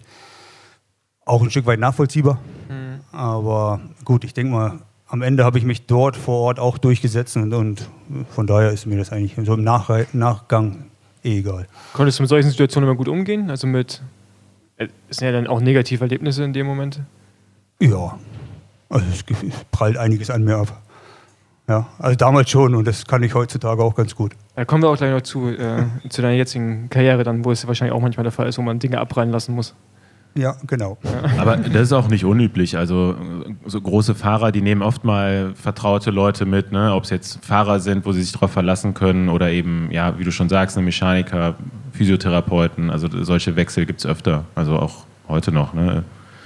Ich glaube, äh, ja, vielleicht jetzt so als deutscher, deutscher Fahrer, zum Beispiel Toni Martin, als der damals zu Quickstep gewechselt ist, ist auch mit so einer ganzen Truppe von Helfern, Betreuern, Mechanikern, die jetzt auch zum Teil heute noch da sind. Ne, Also das ist jetzt nichts Außergewöhnliches. Das, ja, aber ich kann mir schon vorstellen, dass dann gerade bei T-Mobile dann natürlich Neider da waren, weil da wollte jeder hin. Ne? Das war so das Team zu der Zeit auf jeden Fall. Ja, ja, das ist tatsächlich so. Also wie gesagt, also es gibt noch mehrere Beispiele. Also äh, äh, Peter Sagan zum Beispiel, als er zu Bora Ja. gewechselt ist. Äh, nicht, ja doch, zu Bora. Was da Ja. Er hat auch, glaube ich, Daniel Ost dabei halb, gehabt Slo so. Ne? halb Slowakei dabei Bruder. gehabt. Genau, sein Bruder. Ja, ja. Also von daher, das ist, das ist halt gang und gäbe eigentlich. Ja. Also das ist jetzt, klar, du musst dann irgendwo letztendlich, und das ist mein Anspruch gewesen, dass ich mir trotzdem meinen meinen Stand wieder erkämpfe. Aber wie gesagt, und das denke ich mal, das habe ich aber trotzdem ganz gut hingekriegt, ja. Ja, da komme ich zu der Frage, wie hast du dich eigentlich in all der Zeit so von dir selbst aus gesehen als Fahrer entwickelt? 2-4 zum Beispiel, so, ich habe schon am Anfang gesagt, du wiegelst ab, so bescheidenerweise. Eigentlich jedes Jahr viele Top-10-Ergebnisse. Gut, wahrscheinlich auch als Sprintanfahrer öfters mal dann abgefallen, aber auch selber als Sprinter. Äh, 2-4 tatsächlich Profisieg, Rheinland-Pfalz-Rundfahrt. Davon stehen nicht so viele drin. Ich glaube, äh, war, das, war das ein Highlight auch selber? Für T-Mobile in Deutschland so dann Rennen zu gewinnen? Ja, klar, auf jeden Fall. Also wie gesagt, ich glaube insgesamt, ich weiß nicht, wie viele Siege ich hatte, also fünf oder vier, drei, ich weiß es selber nicht. Also normalerweise müsste ich es wissen, aber äh, weil es nicht so viele waren. Aber ich glaube, äh, wie dieser eine äh, Sieg bei der Rheinland-Pfalz-Rundfahrt, der, der natürlich, der war gut fürs Ego. Ich habe es ja gerade schon gesagt. Also es war das Jahr, wo ich dann zu T-Mobile gekommen bin. Äh, anfangs jetzt nicht unbedingt den besten Stand hatte da und äh, intern und wie gesagt, ich mich aber hinten raus, wie gesagt, glaube ich, ganz gut, gut, gut äh, verkauft habe und wie gesagt, mit diesem, mit diesem Etappensieg dann bei der Rheinland-Pfalz-Rundfahrt, das war für mich dann schon irgendwo auch ein Highlight, ja, muss ich ganz ehrlich sagen. Auf jeden Fall haben sie dich auch gut rumgeschickt, ne? Also hier steht elf, elf also elf einwöchige Rundfahrten. In dem Jahr, ja. In 2004. Also, und auch so in, in, würden jetzt ich, in sieben, acht Ländern. Ja, ich glaube, mir würden jetzt ich mit viel Arbeit auch elf nur einfallen, überhaupt, ja. jetzt, die jetzt stattfinden, einwöchige. Ja gut, da gab's ja, damals gab es in Deutschland ja schon. Ja, vier oder fünf, oder ja, so. aber das ist aber trotzdem krass. Aber du also, bist wirklich ja auch elf Stück gefahren. Ja. Ja, ich habe es ja anfangs schon mal gesagt gehabt. Also ich glaube 2005 hatte ich ein Jahr gehabt, da habe ich äh, 128 Renntage gehabt. Und äh, meine Frau hat mir dann mal erzählt, dass ich 280 Tage unterwegs war in dem Jahr. Also danke an Sie. Woran lag das? Also du hast eben immer angesprochen, du hast eine gute Veranlagung, dein Gewicht zu halten zum Beispiel. Also war das auch so, weil du immer fit warst? Also ich kenne das heute, wir haben auch so ein paar Fahrer, mit denen ich arbeite, die ja, die kannst halt jeden Tag anrufen und die sind immer gleich gut. Also die haben gar nicht so viele Ups und Downs. Ne? Also ist ja auch ein Zeichen von Verlässlichkeit, wenn man so ja eigentlich überall eingesetzt werden kann. Naja, das ist ja äh, so schon so, dass gerade diese Teams, die wollen ja natürlich irgendwo äh, äh überall äh, mitmischen in dem ganzen Zirkus, ja, und, und manchmal haben sie gar nicht genug Rennfahrer dafür. Also heutzutage sind da viele, sobald sie krank sind, können sie Rundfahrten nur noch mit drei, vier Leuten besitzen. Oder ja, vier vielleicht, müssen sie ja mindestens haben. Und das macht natürlich bei einem Veranstalter nicht unbedingt einen guten Eindruck. Und so war es damals eigentlich auch. Ja, also äh, man wollte immer die Maximalstarterzahl wenigstens an den Start bringen. Und dann äh, äh, hat man natürlich in dem Fall mich wirklich überall hingeschickt. Ja, also gerade in diesem ersten Jahr bei T-Mobile. Und also ich hatte sogar, ich hatte sogar eine, eine mal eine Situation gehabt, da hat man mich mit Fieber anreisen lassen. Ja, also äh, und vor Ort hat man dann gemerkt, okay, äh, du siehst ja scheiße aus. Was willst du hier? dann habe ich gesagt, naja gut, ich meine, mehr als es dir sagen am Telefon kann ich nicht. Äh, jetzt bist du überzeugt hoffentlich. Und dann sagt er, ja, fahr wieder nach Hause. Ja, also es war tatsächlich so, dass, dass, dass wir wirklich damals wirklich überall hingeschickt wurden, wo, wo ein Radrennen stattgefunden hat. Äh, ich gehe mal wieder so ein bisschen auf die Kollegenliste ein. Das äh, waren ja jetzt mehrere Jahre da und ähm, auch wieder schildernde Kollegen, auch viele Deutsche, die auch heute noch teilweise im Radsport ähm, aktiv sind. Ich fange mal an mit Rolf Aldag natürlich damals, dein Teamkollege. Und Erik Baumann, auch auf jeden Fall sehr lustiger Typ, den wir noch nicht eingeladen haben, aber eigentlich noch so ein bisschen auf der Liste stehen haben.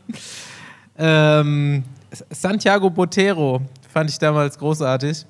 Heinrich Hausler, Markus Burkhardt, Kettle Evans war da, Giuseppe Guerini, Andy Clear, guter Besenwagenfreund, Klöden, Savoldelli, Vinokurov, Wesemann, Zabel, Sevilla, der fährt immer noch. Gerdemann, ja, wirklich, ich habe ich hab ja, extra nochmal geguckt. Der, der gewinnt ja in Kolumbien auch immer regelmäßig noch seine Rundfahrten. Quatsch. Aber der, der, der, sieht, ja doch, der sieht, Schätzen, sieht halt auch immer noch aus wie so ein. Aber er sah Ende damals schon aus 20, wie 16. ja.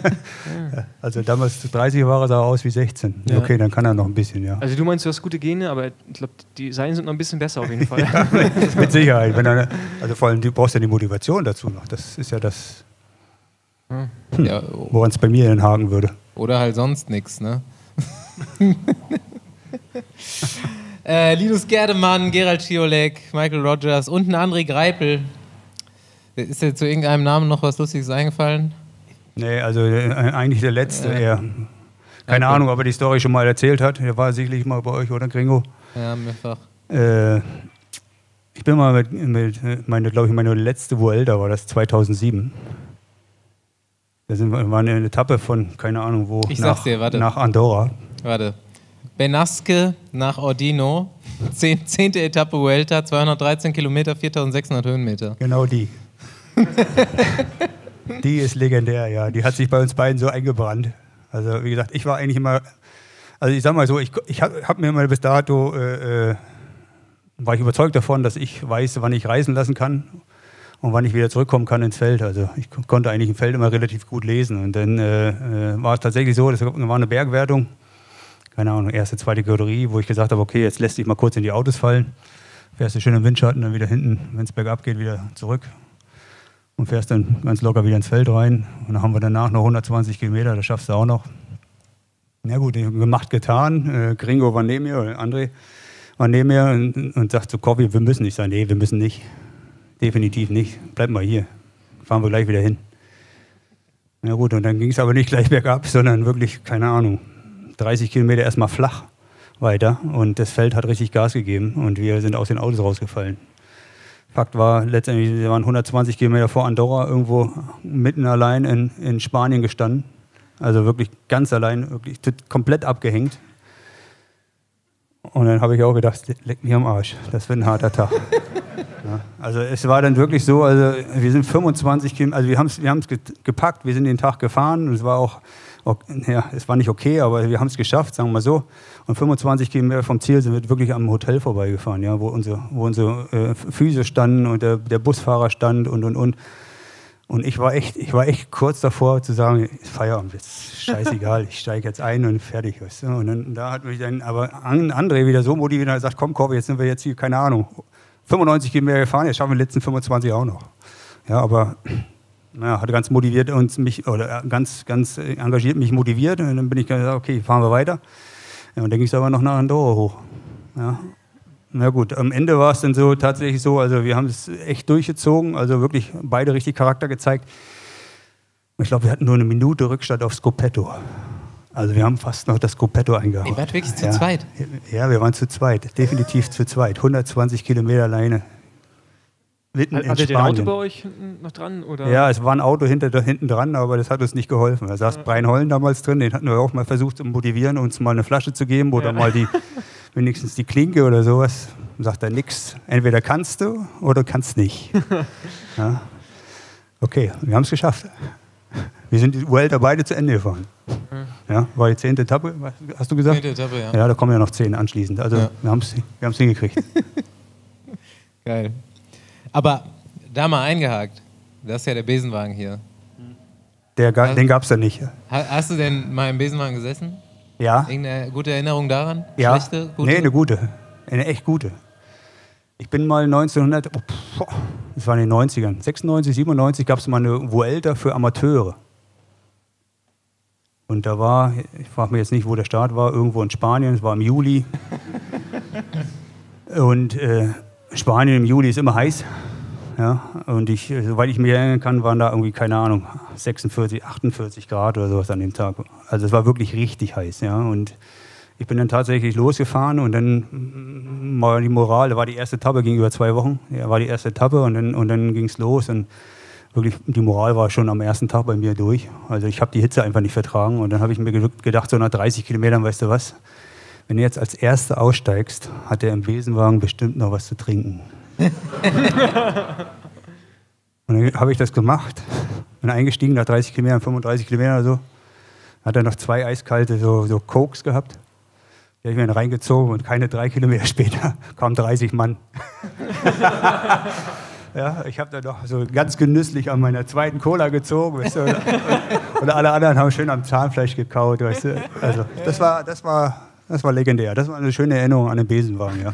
Also der, der Besenwagen hat dann im Laufe der Etappe, glaube ich, noch sechsmal an irgendwelchen Brunnen angehalten, weil da gab es ja sonst nichts, um Wasser aufzufüllen, aber mir ging es gut. Nice. Ja, dann ähm, sind wir eigentlich so T-Mobile 2007, langsam Richtung Karriereende. 2008 fährst du nochmal bei Volksbank, also in Österreich. Ähm, keine Ahnung, gibt es da aus, aus deiner Warte noch was zu erzählen zum da kann ich was erzählen, weil 2008 weiß ich mich noch, ich weiß gar nicht, welche deutsche Rundfahrt das war, Niedersachsen oder irgendwas.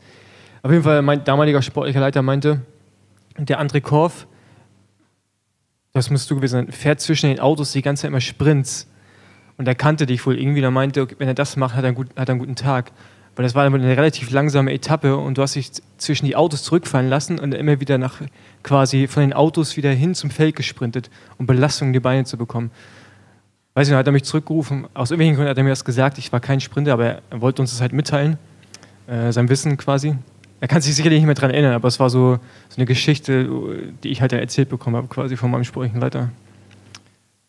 Kannst du, natürlich kannst du nicht mehr Nee, dran also das kann, kann ich mir auch nicht vorstellen, dass ich das gemacht habe. Also, ich meine, ich, ich mache sicherlich ein paar dumme Sachen, aber das habe ich bestimmt weggelassen. Also, und wenn, dann war es keine Absicht. Es kann sein, dass ich wieder hin Okay, wollte gut. oder wie auch immer. Ja, aber, aber äh, nee, also ich, also was ich früher wirklich gemacht hatte, also im letzten Jahr vor allem, das weiß ich noch ganz genau, also um mich wirklich vorzubelasten auf ein richtiges Radrennen, zum Beispiel eine deutsche Meisterschaft oder sowas, bin ich am Tag vorher, musste ich 100 Kilometer Rad fahren. Ansonsten ging bei mir nächsten Tag nichts. Also das, daran kann ich mich erinnern. Ja. Also das brauchte ich einen Tag vor dem Rennen. Also die 100 Kilometer mussten sein. Und alles, was drunter gefahren, alles, was ich drunter gefahren bin, da wusste ich nächsten Tag, geht gar nichts. Hast du die ganze Karriere immer nach Kilometer trainiert? Ja. Das ist auch echt interessant, ne? Also, Ja, ich bin halt vom alten Schlag, weißt du. Ja, ja, nee, aber ich meine, das haben wir ja auch lange gemacht, bis dann irgendwann Ja. wir auf Zeit umgestanden. Aber das ist halt in Bayern 100 Kilometer ist halt anders als in MacPom, ne? Oder hier in Berlin. Also Ja gut, ich habe mir immer gesagt, ist ja scheißegal. Wenn die Etappe 180 lang ist, ist es egal, Ja. ob du in, in, in, am- auf dem Deich fährst irgendwo oder, oder durch die Berge. Es bleibt 180. ja. Ja. Also klar, heutzutage sehe ich das auch anders. Aber im Grunde hast du recht gehabt. Ja, aber ich, bei mir, also ich würde sagen, vielleicht so in der U23 hat sich das erst umgestellt. Ja, genau, ne? vor- aber also vorher vorher, auch war auch Vorher mal nach immer Kilometer. Kilometer, Wie viel ja. fahren wir morgen? Ja, keine Ahnung, 120. ja. Nicht, nicht vier Stunden, nicht drei Stunden, sondern. Und dann irgendwann kam das. Aber also, weil wir gerade über meinen Bruder gesprochen hatten, ähm, der war ja auch hier in Berlin auf der Sportschule mit dem anderen auch, dem Joey, der hier ist. Und die sind jetzt noch nicht so alt. Das heißt, es ist auch noch nicht so lange her. Auch selbst die haben noch nach Kilometer trainiert und die haben es echt so gemacht, dass, wenn 100 drauf standen, sind sie halt dann, wenn, wenn die halt keinen Bock hatten, halt extra schnell gefahren, um halt dann quasi weniger Zeit zu haben, ne? also weniger Trainingszeit. Aber natürlich ist das Training auch ineffektiver, weil halt immer schön über dem Bereich, in dem man eigentlich fahren sollte. Ja. Aber ja, Ja, wenn man ein Hobby ist, trainiert man immer nach Kilometern. du trainierst immer nach Kilometern. Ja, ne? klar. Oder nach Schnitt. Ja, 30er Schnitt.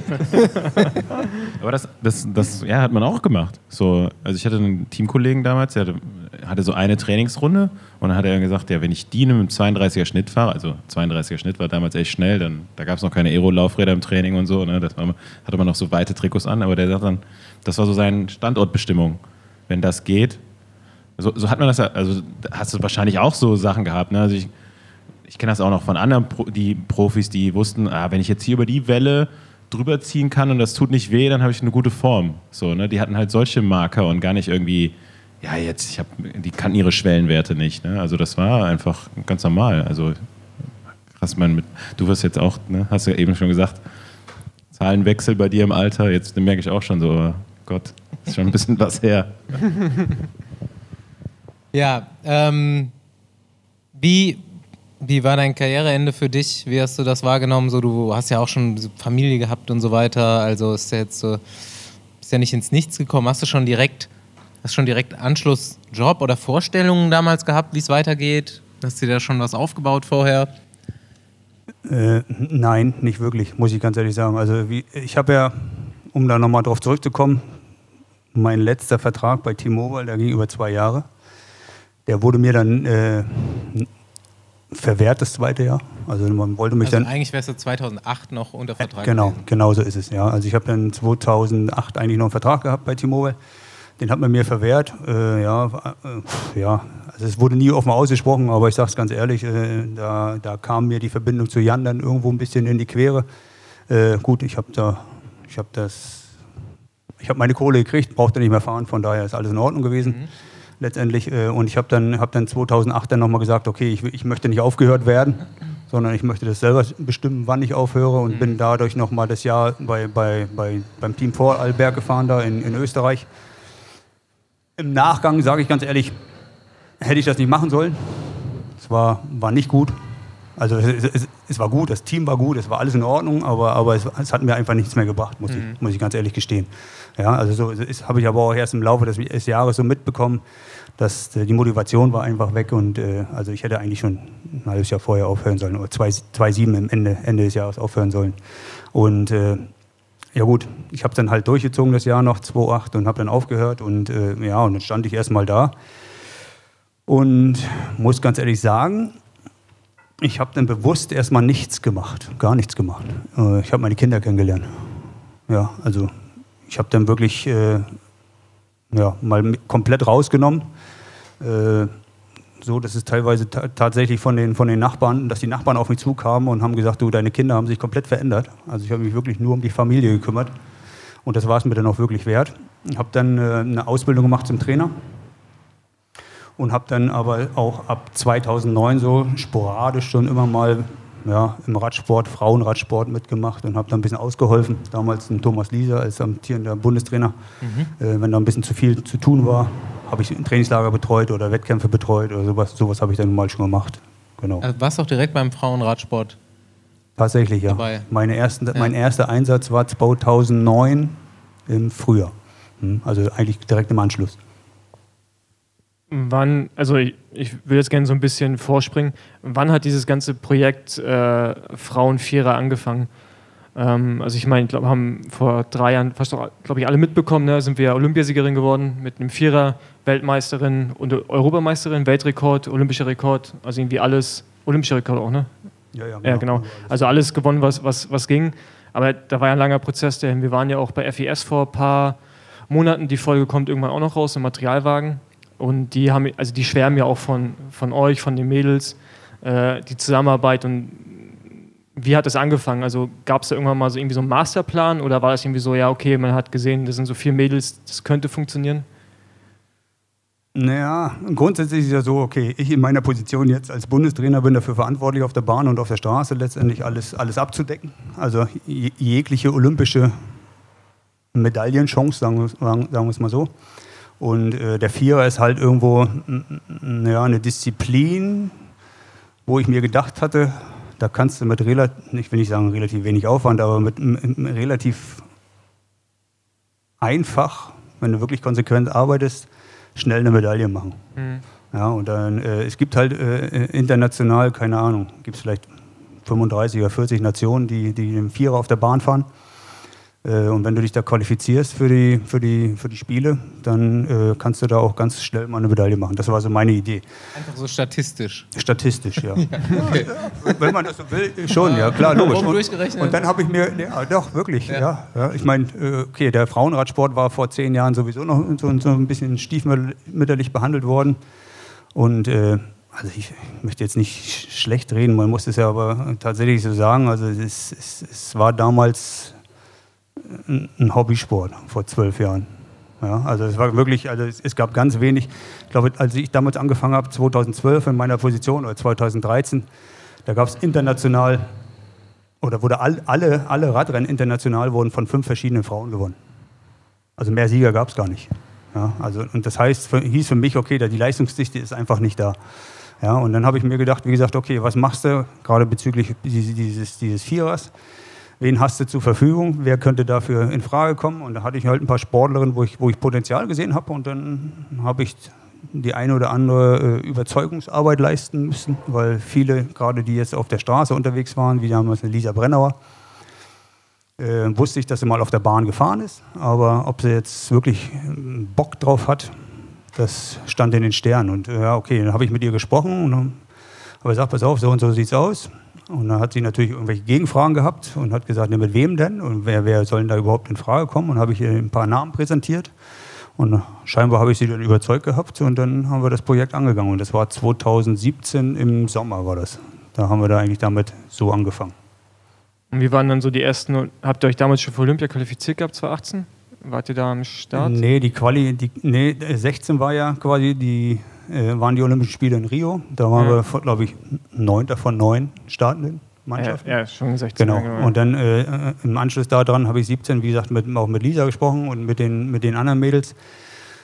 Und dann ging die Quali ging dann 2018 los für die Spiele und äh, ja, durch Corona hat das jetzt alles ein bisschen länger gedauert gehabt, aber, aber im Endeffekt hatten wir uns dann da eigentlich ganz gut qualifiziert. Und wie gesagt, also mit Lisa kam dieser Step wirklich, dass wir von Mal zu Mal bei jedem Radrennen, was wir gefahren sind, war eigentlich immer, immer schneller geworden. Ja, also wir haben das dann wirklich so perfektioniert, dass wir gesagt haben, okay, am Ende bei den Spielen haben wir, glaube ich, dreimal Weltrekord gefahren. Ja. Nee, glaube ich nicht, weiß ich. Ja, aber ja. das war ja aber auch der Zyklus, wo ja auch alle anderen äh, Nationen richtig zugelegt haben. Ne? Also die, die Australier wurden viel, viel stärker, die Britinnen, also die sind ja alle, haben so einen riesen Step gemacht. Es waren dann nicht irgendwie nur mal so zwei Nationen, sondern auf einmal ja mehr Nationen als Medaillen verfügbar, die wirklich äh, um Medaille mitfahren. Genau, ja, okay. Also wie gesagt, das ist ja das, was ich meinte. Also 2012, 2013 war das alles noch ein bisschen stiefmütterlich behandelt, der Frauenradsport. Und, und man hat gemerkt, dass, dass der Frauenradsport wirklich von Jahr zu Jahr einfach immer professioneller wird. Ja. Und das macht natürlich vor einem Vierer auch nicht halt. Mhm. Also das ist natürlich, gilt dann für jede Disziplin, Radsportdisziplin. Ja, auf der Straße, im Zeitfahren oder im Straßeneinzelrennen oder wie gesagt im, im Omnium oder in, in einer Mannschaftserfolgung oder wo auch immer. Ja. ja. Aber wie läuft das ab? Bist du da mit einem Plan? Also gesagt, okay, hier, das ist das Budget, was ich brauche, das sind irgendwie die Fahrer, die ich gerne bist du irgendwie zu Patrick Moss oder zu wem bist du hingegangen und gesagt, ey, hier, so sieht das aus oder?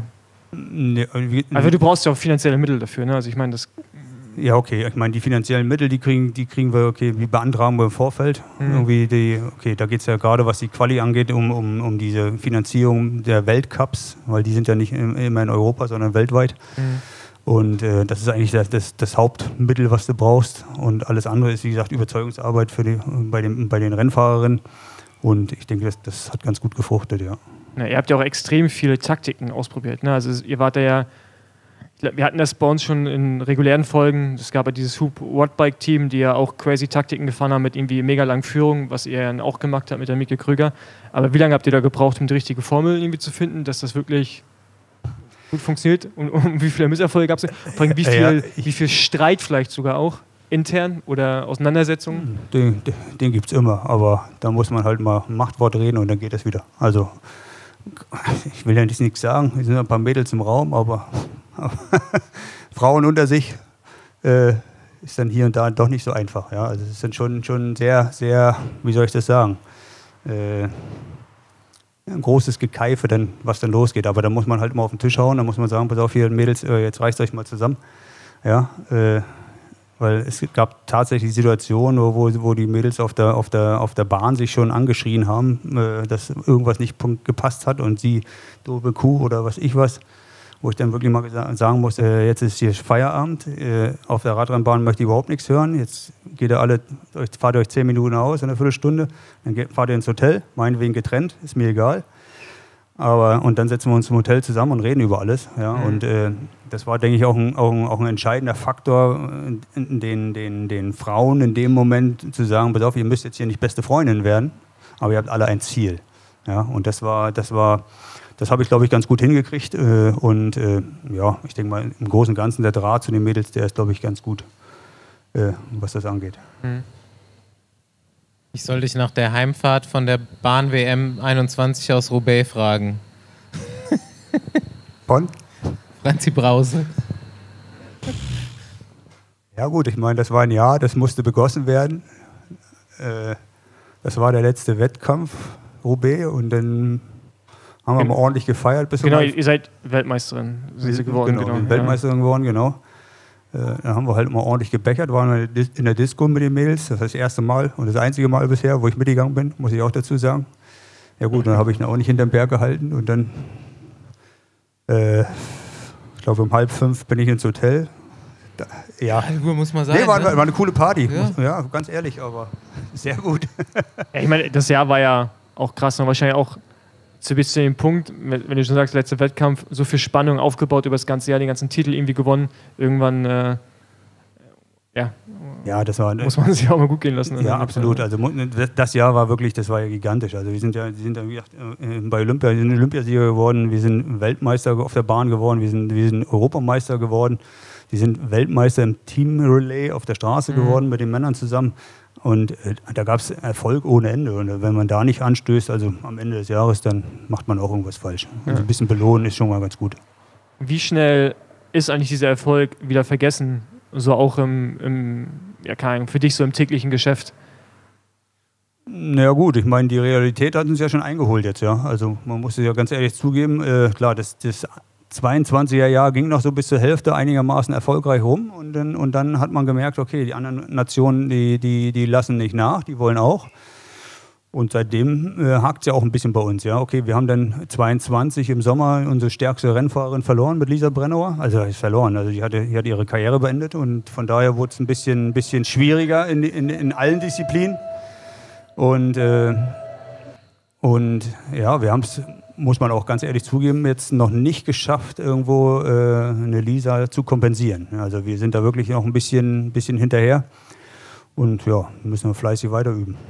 Aber wie, ähm, weil ich fand das bei Franzi auch schon interessant, wenn sie halt davon redet, wir haben die stärkste Rennfahrerin verloren. Das heißt, man, man stuft sich dann ja selber herab in der eigenen Kommunikation schon. Und du musst, du sagst es als Trainer auch.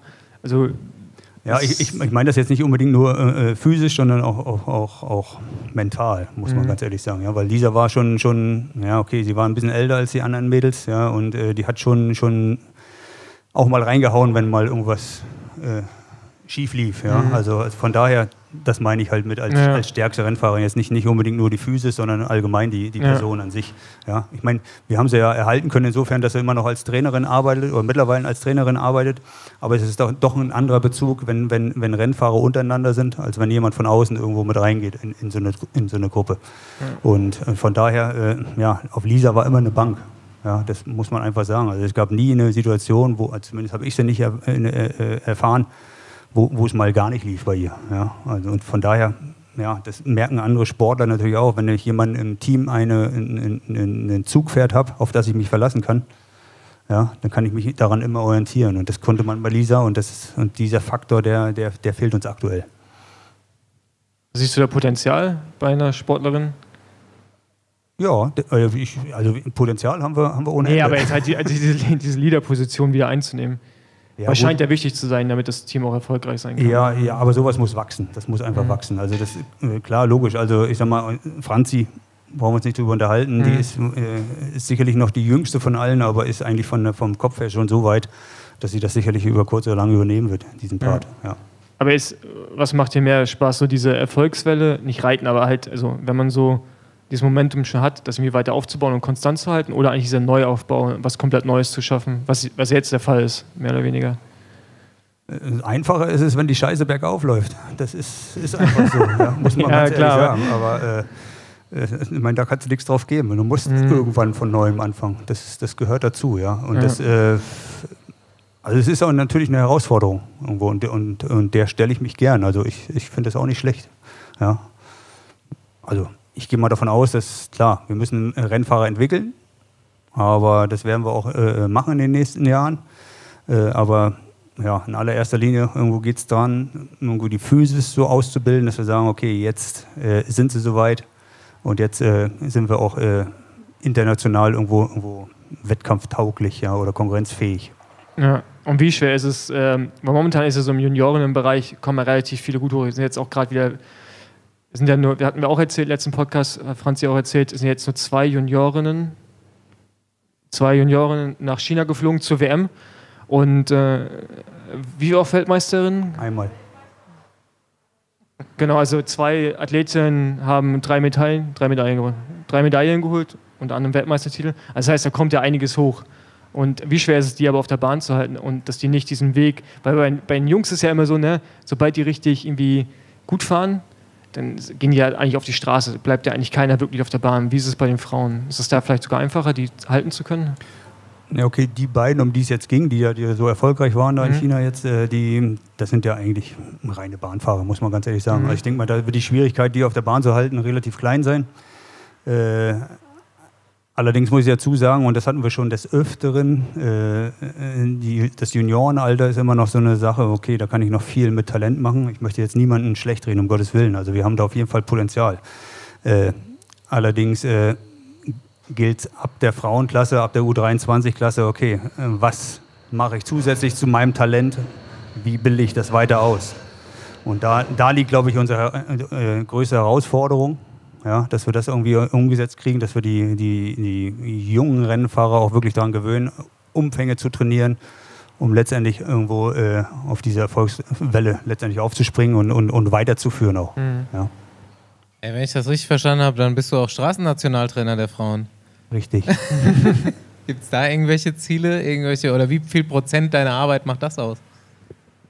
Wie, und wie viel Einfluss hast du tatsächlich? Äh, re relativ wenig äh, muss ich ganz ehrlich sagen. Ja, auf der Straße ist es eigentlich so, äh, klar, ich, ich, ich, ich betreue die Europameisterschaften, Weltmeisterschaften, Olympische mhm. Spiele.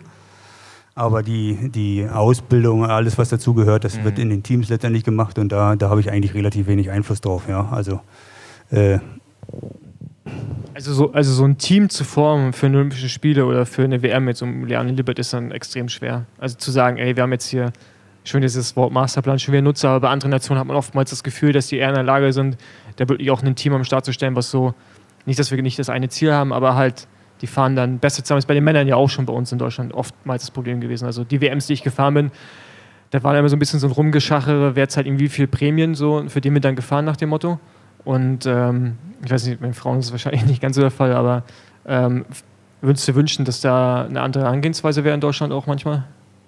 Also, ja, klar, ich kenne das von den Männern auch. Ja. Ja. also auch schon damals war es so. Aber äh, nee, bei den Frauen ist es ganz anders. Ich meine, okay, wir haben jetzt in der Weltspitze nicht wirklich viele äh, Rennfahrerinnen, die da wirklich mitmischen können. Ja, also ich meine, Lilly ist diejenige, die irgendwo aktuell da vorne wirklich in der Weltspitze mitfahren kann und die hat hier und da auch ihre, ihre Chancen schon gehabt. Äh,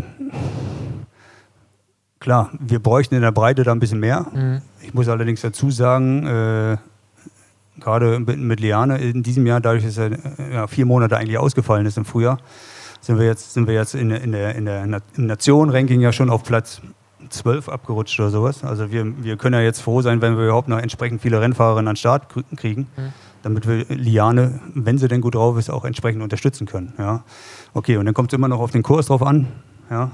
Äh, ich kann mich erinnern, keine Ahnung, also wenn, wenn, wenn wir einen, einen, einen Kurs haben, äh, wie in Rio zum Beispiel, bei den Olympischen Spielen, ja, da braucht man komplett andere Rennfahrer, als es jetzt war, wie in Paris, ja. Also das, in Paris war es ein Klassikerkurs und in Rio war es ein absoluter Bergkurs. Ja, da musstest du ein, zweimal richtig einen Berg hochfahren können.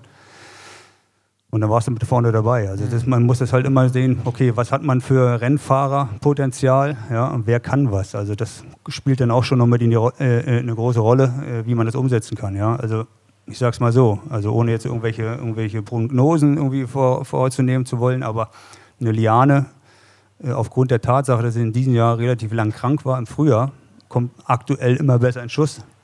Und ihr kommt dieses Jahr die WM eigentlich extrem entgegen, also zumindest der Kurs. Ja, also ich, ich, ich will jetzt hier niemanden unter Druck setzen, aber äh, Ja gut, aber wir haben, für den Kurs haben wir aber schon auch noch ein paar andere gute Fahrerinnen, die sie unterstützen können. Ne? Mit Niedermeyer, äh, ich weiß nicht, wie ähm, wie so ein Bauernfeind. Bauernfeind aussieht, die ist verletzt auch, ist. Fällt auch noch raus. Ja, ja.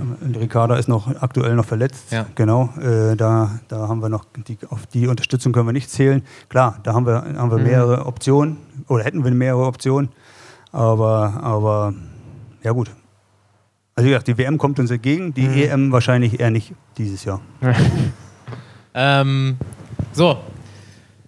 Verschiedene äh, Abschlussfragen vorbereitet, aber ich glaube, was bei dir relativ gut ziehen könnte, ist dein schlimmster Hungerast. Du bist doch auf jeden Fall noch eine Generation, die Hungerast kennen. Ja, ja, bei uns war noch Trinken ein Zeichen von Schwäche. Genau. Äh, mein schlimmster Hungerast. sind so viele, ne? Ja, das, das kann ich gar nicht jetzt so sagen. Ja, es war bestimmt irgendwann mal, keine Ahnung, nee, kann ich echt, weiß ich, kann ich mich nicht an erinnern. Also ich bin nicht verhungert. Dann musst du, dann musst du leider äh, deinen Song der Woche rausgraben. Oh. Oder Song deiner Karriere. Song meiner Karriere. Oh Gott. Es, es wurden mir schon so Songs zugetragen, Flieg, kleiner Wellensittich und sowas.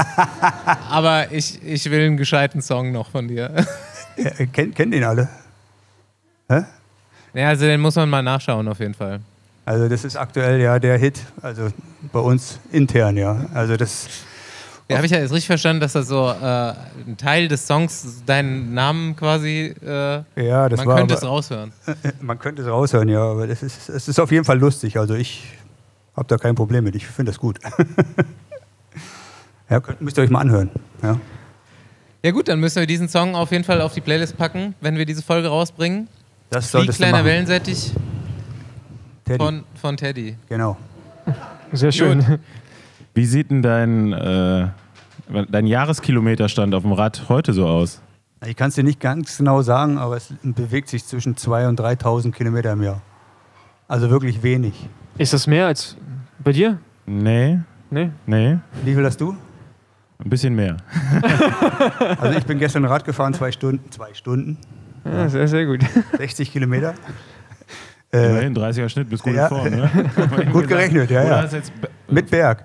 Ah. Äh, aber äh, also ganz ehrlich, ich muss nicht unbedingt mehr Fahrrad fahren. Also wenn, wenn das Wetter es zulässt, ist es schön, dann bin ich gern dabei. Aber ansonsten Also mir reicht schon, wenn es bewölkt ist. Dass ich Sorry, Leute, euch das sagen zu müssen, aber äh, ich habe mir geschworen damals, äh, als ich aufgehört habe, ich mache mir nie wieder eine Nummer als Fahrrad.